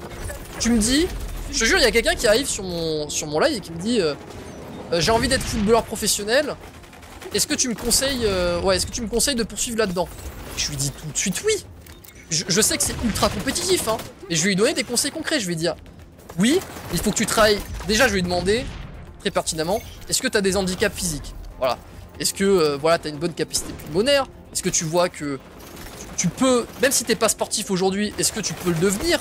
Voilà. Si quelqu'un me dit euh, je suis en fauteuil roulant, je fais bon bah oui, je vais pas lui mentir, oui non, pense, trouve autre chose quoi, tu vois ce que je veux dire Mais quelqu'un, même qui a pas de talent particulier, qui est pas encore sportif, etc., il peut devenir sportif, tu vois. Je vais dire oui, tu veux devenir, si t'as vraiment envie de devenir footballeur professionnel, Déjà, si tu t'es pas encore inscrit en club, va en club. Tu vas plus que tout le monde. Tu trouves des, des gens qui font des matchs toute la journée. Tu joues, tu joues, tu joues. Dès que t'as une minute de libre, tu fais du foot. Tu arrêtes les jeux vidéo. Tu arrêtes les séries. Tu arrêtes les films. Tu t'autorises que très peu de divertissement. Quand tu fais du, quand tu t'autorises du divertissement, essaye de, prendre des choses enrichissantes, des choses qui vont te motiver, qui vont te donner des armes mentales pour rester déterminé euh, dans ton objectif de devenir footballeur professionnel, qui est extrêmement compétitif. Mais tu peux le faire. Tu comprends ce que je veux dire? Est-ce que tu, tu imagines le décalage entre vraiment scénariste? Je vous dis, vous ne pouvez pas aujourd'hui devenir scénariste. Ce n'est pas possible. Quand vous décidez de je veux devenir scénariste professionnel, c'est comme si vous disiez je, décide d'être millionnaire et ton seul moyen pour être millionnaire c'est de jouer au loto. Genre voilà, tu te dis mon objectif de vie c'est d'être millionnaire et ta seule façon d'y accéder, c'est de jouer au loto. Mais tu, je te dis non, en fait. Trouve autre chose. Parce que tu ne gagneras pas au loto. Il y en a qui vont gagner au loto. Il y en a qui vont jouer au loto, qui vont gagner au loto. Moi, je pense que j'ai quand même gagné au loto. Hein. Euh, à la fin, c'est quand même beaucoup moins plaisant que d'avoir des millions d'euros dans son compte en banque, hein, je pense. Parce que si tu as des millions d'euros, pour le coup, tu peux financer tes propres projets et être scénariste des projets. Hein. C'est ce qu'un gars a fait d'ailleurs. Là, il y a un truc qui me dégoûte un petit peu. Parce que forcément, ça fout le seum. On va, on, va, on va parler un petit peu, on va arrêter de jouer là. Il y a un studio Webtoon qui a ouvert il y a, il y a très peu de temps, d'accord? Ils ont des studios sur Paris. Ils ont un espace, ils travaillent tous ensemble, comme une communauté. Ils sont 6 ou 7. Euh, ils, partagent les tâches, ils ont des horaires, ils ont des salaires, ils ont la sécurité sociale. Euh, ils ont un petit chien euh, qui reste dans les bureaux, ils peuvent les caresser toute la journée. Ils ont, un truc en mode start-up, c'est bien décoré et tout. Tu l'as vu leur studio? Ces gens-là, c'est parce que le, le mec qui gère le studio, et qui est évidemment il n'est pas juste directeur du studio, il est aussi scénariste et auteur de tous les projets. Bien sûr, pourquoi s'en priver? Ce mec-là, c'était un type qui, bossait pour les euh, business angels. Donc son, travail à ce gars-là, c'était de mettre en relation les mecs ultra riches, les, les, mecs qui ont des centaines de millions en banque, les mecs même qui ont des milliards en banque et qui ne savent pas où les investir, et mettre ces gens-là en relation avec euh, des start des gens qui veulent lancer une boîte et qui on leur dit voilà, si vous mettez votre argent là, vous allez dupliquer votre argent très très rapidement. C'était son job à ce mec. Il a fait ça pendant plusieurs années. Donc rien à voir, rien à voir avec le fait d'être scénariste. Moi, je me suis cravaché comme un chien toute ma vie à étudier le scénario, à voir comment je pouvais faire, à critiquer les œuvres que j'aimais, critiquer les œuvres que j'aimais pas, essayer de développer un truc. J'ai fait des études dans ce secteur-là, alors qu'elles sont extrêmement rares, et que j'ai choisi l'école, pour pas, pas dire c'est une, euh, un diplôme bidon, j'ai choisi la seule école gratuite où pour rentrer, il fallait faire un concours où on est 4000 au début du concours, et à la fin, on n'est plus que 30, d'accord?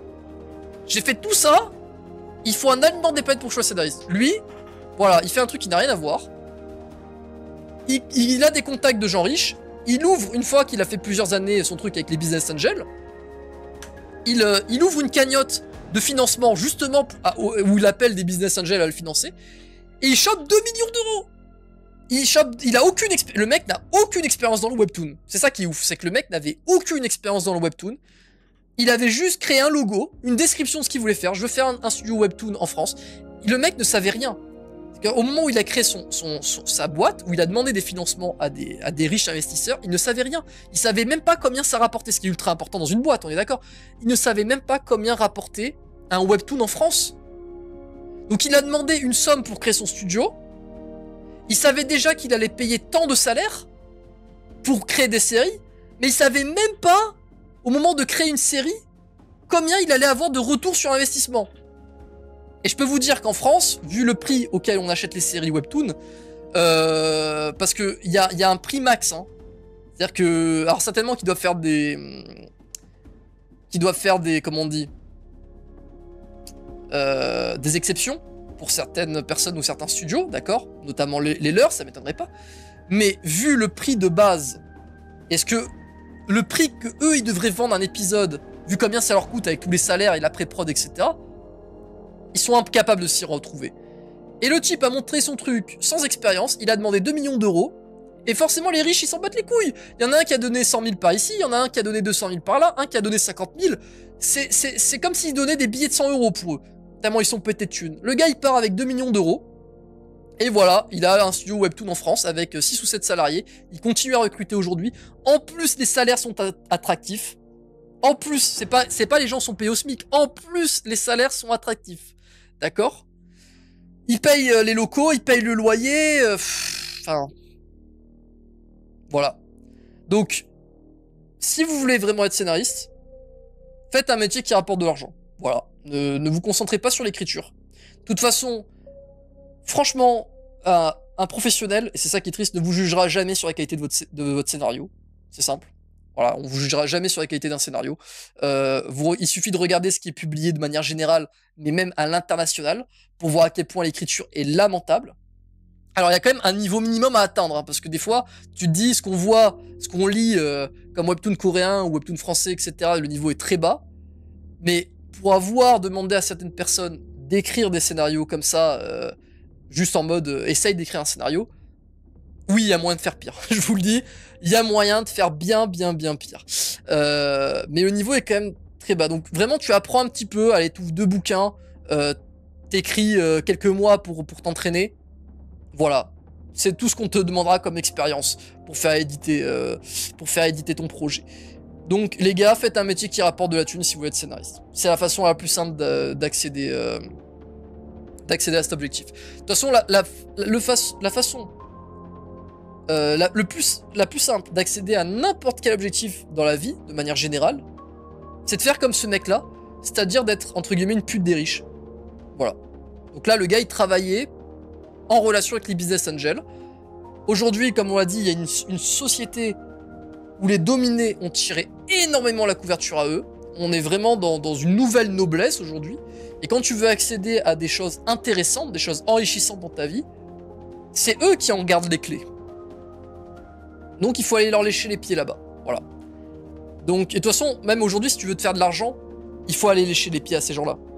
Ça n'existe pas le mec qui part de nulle part et qui se fait une fortune. Voilà.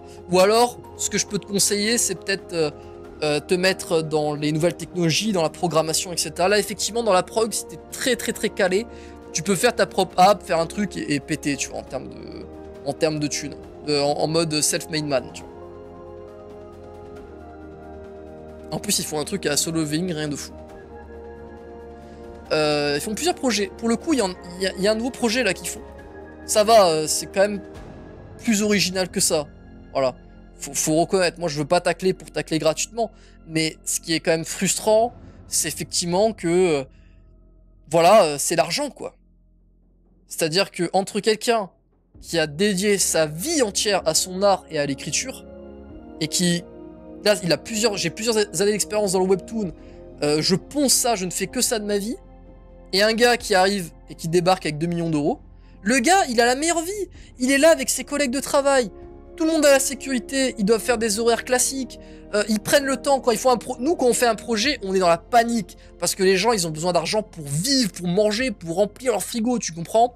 Donc, puisqu'on n'est pas payé quand on fait de la pré-prod et on est payé que quand les épisodes ils sont édités, on est dans une panique. On est en mode allez vite, vite, vite, faut se dépêcher. Là, je suis encore sur un projet avec un gars. Ses parents lui mettent la pression et ils lui ont dit voilà, tu as jusqu'à octobre pour être édité sur Webtoon et gagner de l'argent grâce à Webtoon. Si tu, si tu ne fais pas ça d'ici octobre, c'est ciao, genre nous on ne soutient plus et tu vas trouver un, travail au McDo. Vous comprenez le délire? Est-ce que vous réalisez de l'injustice? Et ce mec dessine très très bien en plus. hein. Est-ce que vous réalisez l'injustice entre ça et un studio qui a chopé 2 millions d'euros de, mecs ultra riches dont les mecs s'en branlent d'avoir balancé 2 millions là-dedans Le mec a des locaux, ils se voient tous les jours, ils ont leur petite machine à café, ils ont leur petit chien, ils s'amusent tous les jours entre collègues, ils font des horaires classiques. Salaire, sécurité de l'emploi, euh, ils cotisent pour plus tard, ils peuvent avoir des arrêts de travail, ils peuvent demander le chômage. Qu'est-ce que c'est que cette merde? Qu'est-ce que c'est que cette merde, les gars? C'est le loto, hein, c'est ça. C'est le loto de la vie. Est-ce que t'es né dans la bonne famille? Et après, je vais vous dire, c'est pour ça que je vous répète encore une fois, ce qui me dégoûte dans ce- cette société, c'est le manque d'honnêteté. Je vous l'ai dit, si au collège ou au lycée, on te disait directement, voilà, c'est comme ça, il y a les dominés, euh, enfin, il y y a les dominants, pardon, c'est la nouvelle noblesse.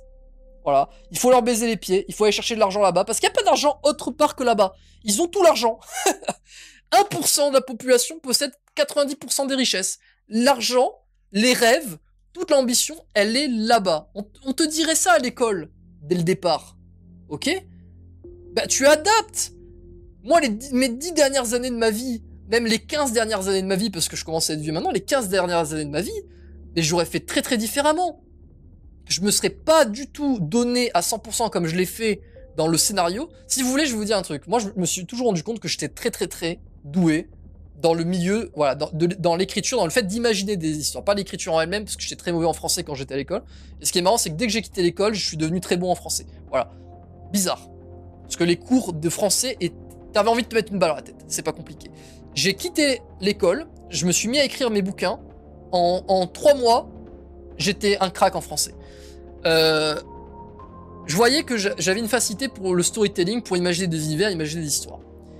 Et quand je me comparais aux productions internationales, je me disais, j'ai quand même un avenir là-dedans. Il n'y a aucun monde où je me donne à fond là-dedans, comme dans, je me disais, tu te donnes à fond dans un sport, il n'y a aucun monde, si je me donne à fond là-dedans, je trouve pas de métier. D'accord? Je me disais ça. Donc j'ai bossé, bossé, bossé, bossé comme un malade là-dedans pour découvrir la vérité du secteur et la vérité du monde en général. Ok? Mais du coup, je peux plus revenir en arrière maintenant.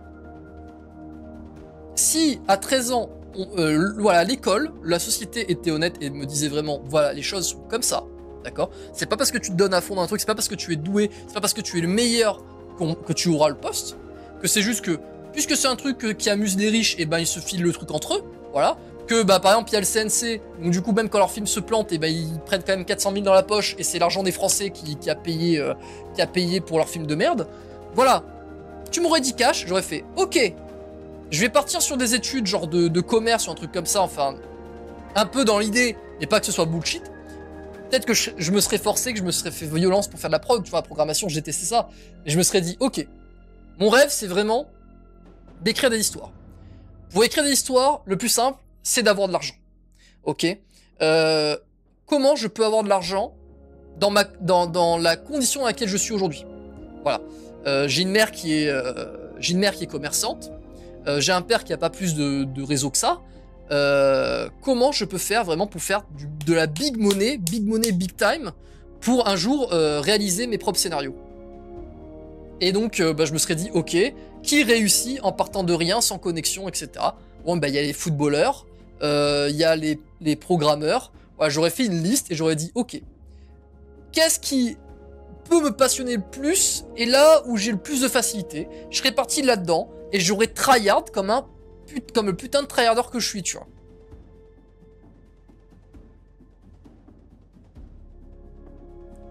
Tu me dis quoi par exemple si t'es gros, je te trouve un moyen agréable. Euh, ah oui, en disant t'as pris du poids, la vérité c'est que t'es un putain de gros lard, pas pour faire mal, mais pour t'aider. Oui, c'est important de dire les choses. Moi je suis aussi d'accord, c'est important de dire les choses euh, cash. Après, ça dépend. Là, franchement, si tu balances juste au gars que c'est un gros lard gratuitement, je pense qu'il est déjà au courant hein, que le mec il est. Après, si le type il est essoufflé tout le temps, on dit ah je sais pas pourquoi, je me sens pas bien, euh, ma vie c'est de la merde, je me sens toujours fatigué, etc. Euh, et que le gars, tu te dis mais euh, t'as pas compris c'était quoi le problème, parce que je peux te le trouver, le problème, tu vois ce que je veux dire? Là c'est différent, effectivement. Mais là c'est autre chose, on parle pas de la personne en elle-même, on parle vraiment de la condition. C'est-à-dire que, pour moi, la vie, en France, la vie en France, c'est comme si tu jouais à un jeu. Voilà, il y a un jeu, c'est le Monopoly. Voilà. On te dit, les règles, c'est ça. On te dit, voilà, si tu fais ça, tu obtiendras ça, c'est les règles du jeu. Tu suis les règles du jeu, tu joues à fond le jeu, tu te, tu te démènes, tu batailles, etc. Tu tryhardes le jeu comme personne d'autre. Et dix ans plus tard, tu découvres que, bah non, en fait, c'est pas les règles du jeu. Les vraies règles, ce sont des règles secrètes qu'on t'a cachées, en fait. Et que toi, t'as, tryhard, t'as tryhard ce que tu pensais être le jeu, alors que c'était du bullshit. tu comprends ce que je veux dire? C'est comme si, je sais pas, non, vas-y. C'est comme si tu, euh, tu, tu jouais à Call of Duty, et qu'on t'expliquait, voilà, les règles de Call of, c'est tu pars d'un bout de la map, et le but, c'est d'atteindre l'autre bout de la map sans mourir. D'accord? C'est comme ça que tu gagnes la partie. Tu fais ça, tu t'entraînes pendant des années. À chaque fois, tu te fais kill parce que forcément, bah, tu cours, il y a des ennemis euh, de, l'autre côté de la map, tu meurs. Tu fais ça, tu t'entraînes, tu deviens le meilleur à ça. Au bout de quelques années, t'as tellement tryhard que t'arrives à tracer toute la map en un temps record comme un speedrunner sans te faire toucher par une seule balle et aller à l'autre bout de la map.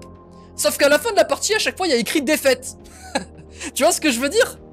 Tu te poses une question, tu fais. Mais je comprends pas. Ça fait 10 ans que je m'entraîne, comme on m'a expliqué euh, les règles. Je pars du- d'un bout de la map à aller à, l'autre bout, comme ça, euh, en restant en vie. Et à la fin de la partie, il y a écrit défaite quand même. Et là, tu réfléchis, tu fais. Et tu regardes les gens qui gagnent en face. Et tu vois les gens qui gagnent, tu fais, attends. Et pourquoi dans le, le- le truc des stats, il n'y a pas écrit euh, c'est qui le plus rapide, il y a écrit c'est qui qui a le plus de kills Je comprends pas. C'est pourquoi c'est. Les gens, quand ils tuent, ils gagnent, ils gagnent la partie, alors que le but c'est juste de courir de l'autre côté. Et là, tu réfléchis, tu réfléchis, tu fais, mais putain, mais. C'est pas les bonnes règles Ce qu'on m'a dit être les règles du jeu pour gagner sont pas les, sont pas les vraies règles en fait. Sauf que toi, ça fait 10 ans, t'as tryhard un truc qui n'était pas le bon, et t'as perdu, perdu 10 ans. C'est pour ça que l'école me dégoûte, c'est des fils de pute. Voilà, je pense que c'est, je pense que c'était une métaphore que tout le monde aurait pu, euh, pourrait comprendre, tu vois.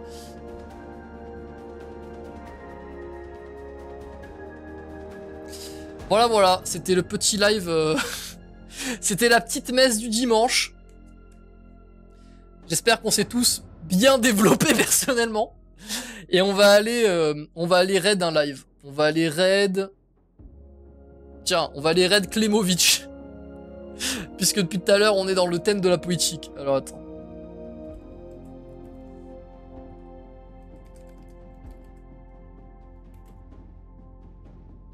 Est-ce qu'ils vont le trouver? Je vais mettre ça en, majuscule. Ok les gars, ça part sur Klemovic qui est, qui est sur le Z-Event. Merci à tous d'avoir suivi ce live et je vous dis à la prochaine. Ciao ciao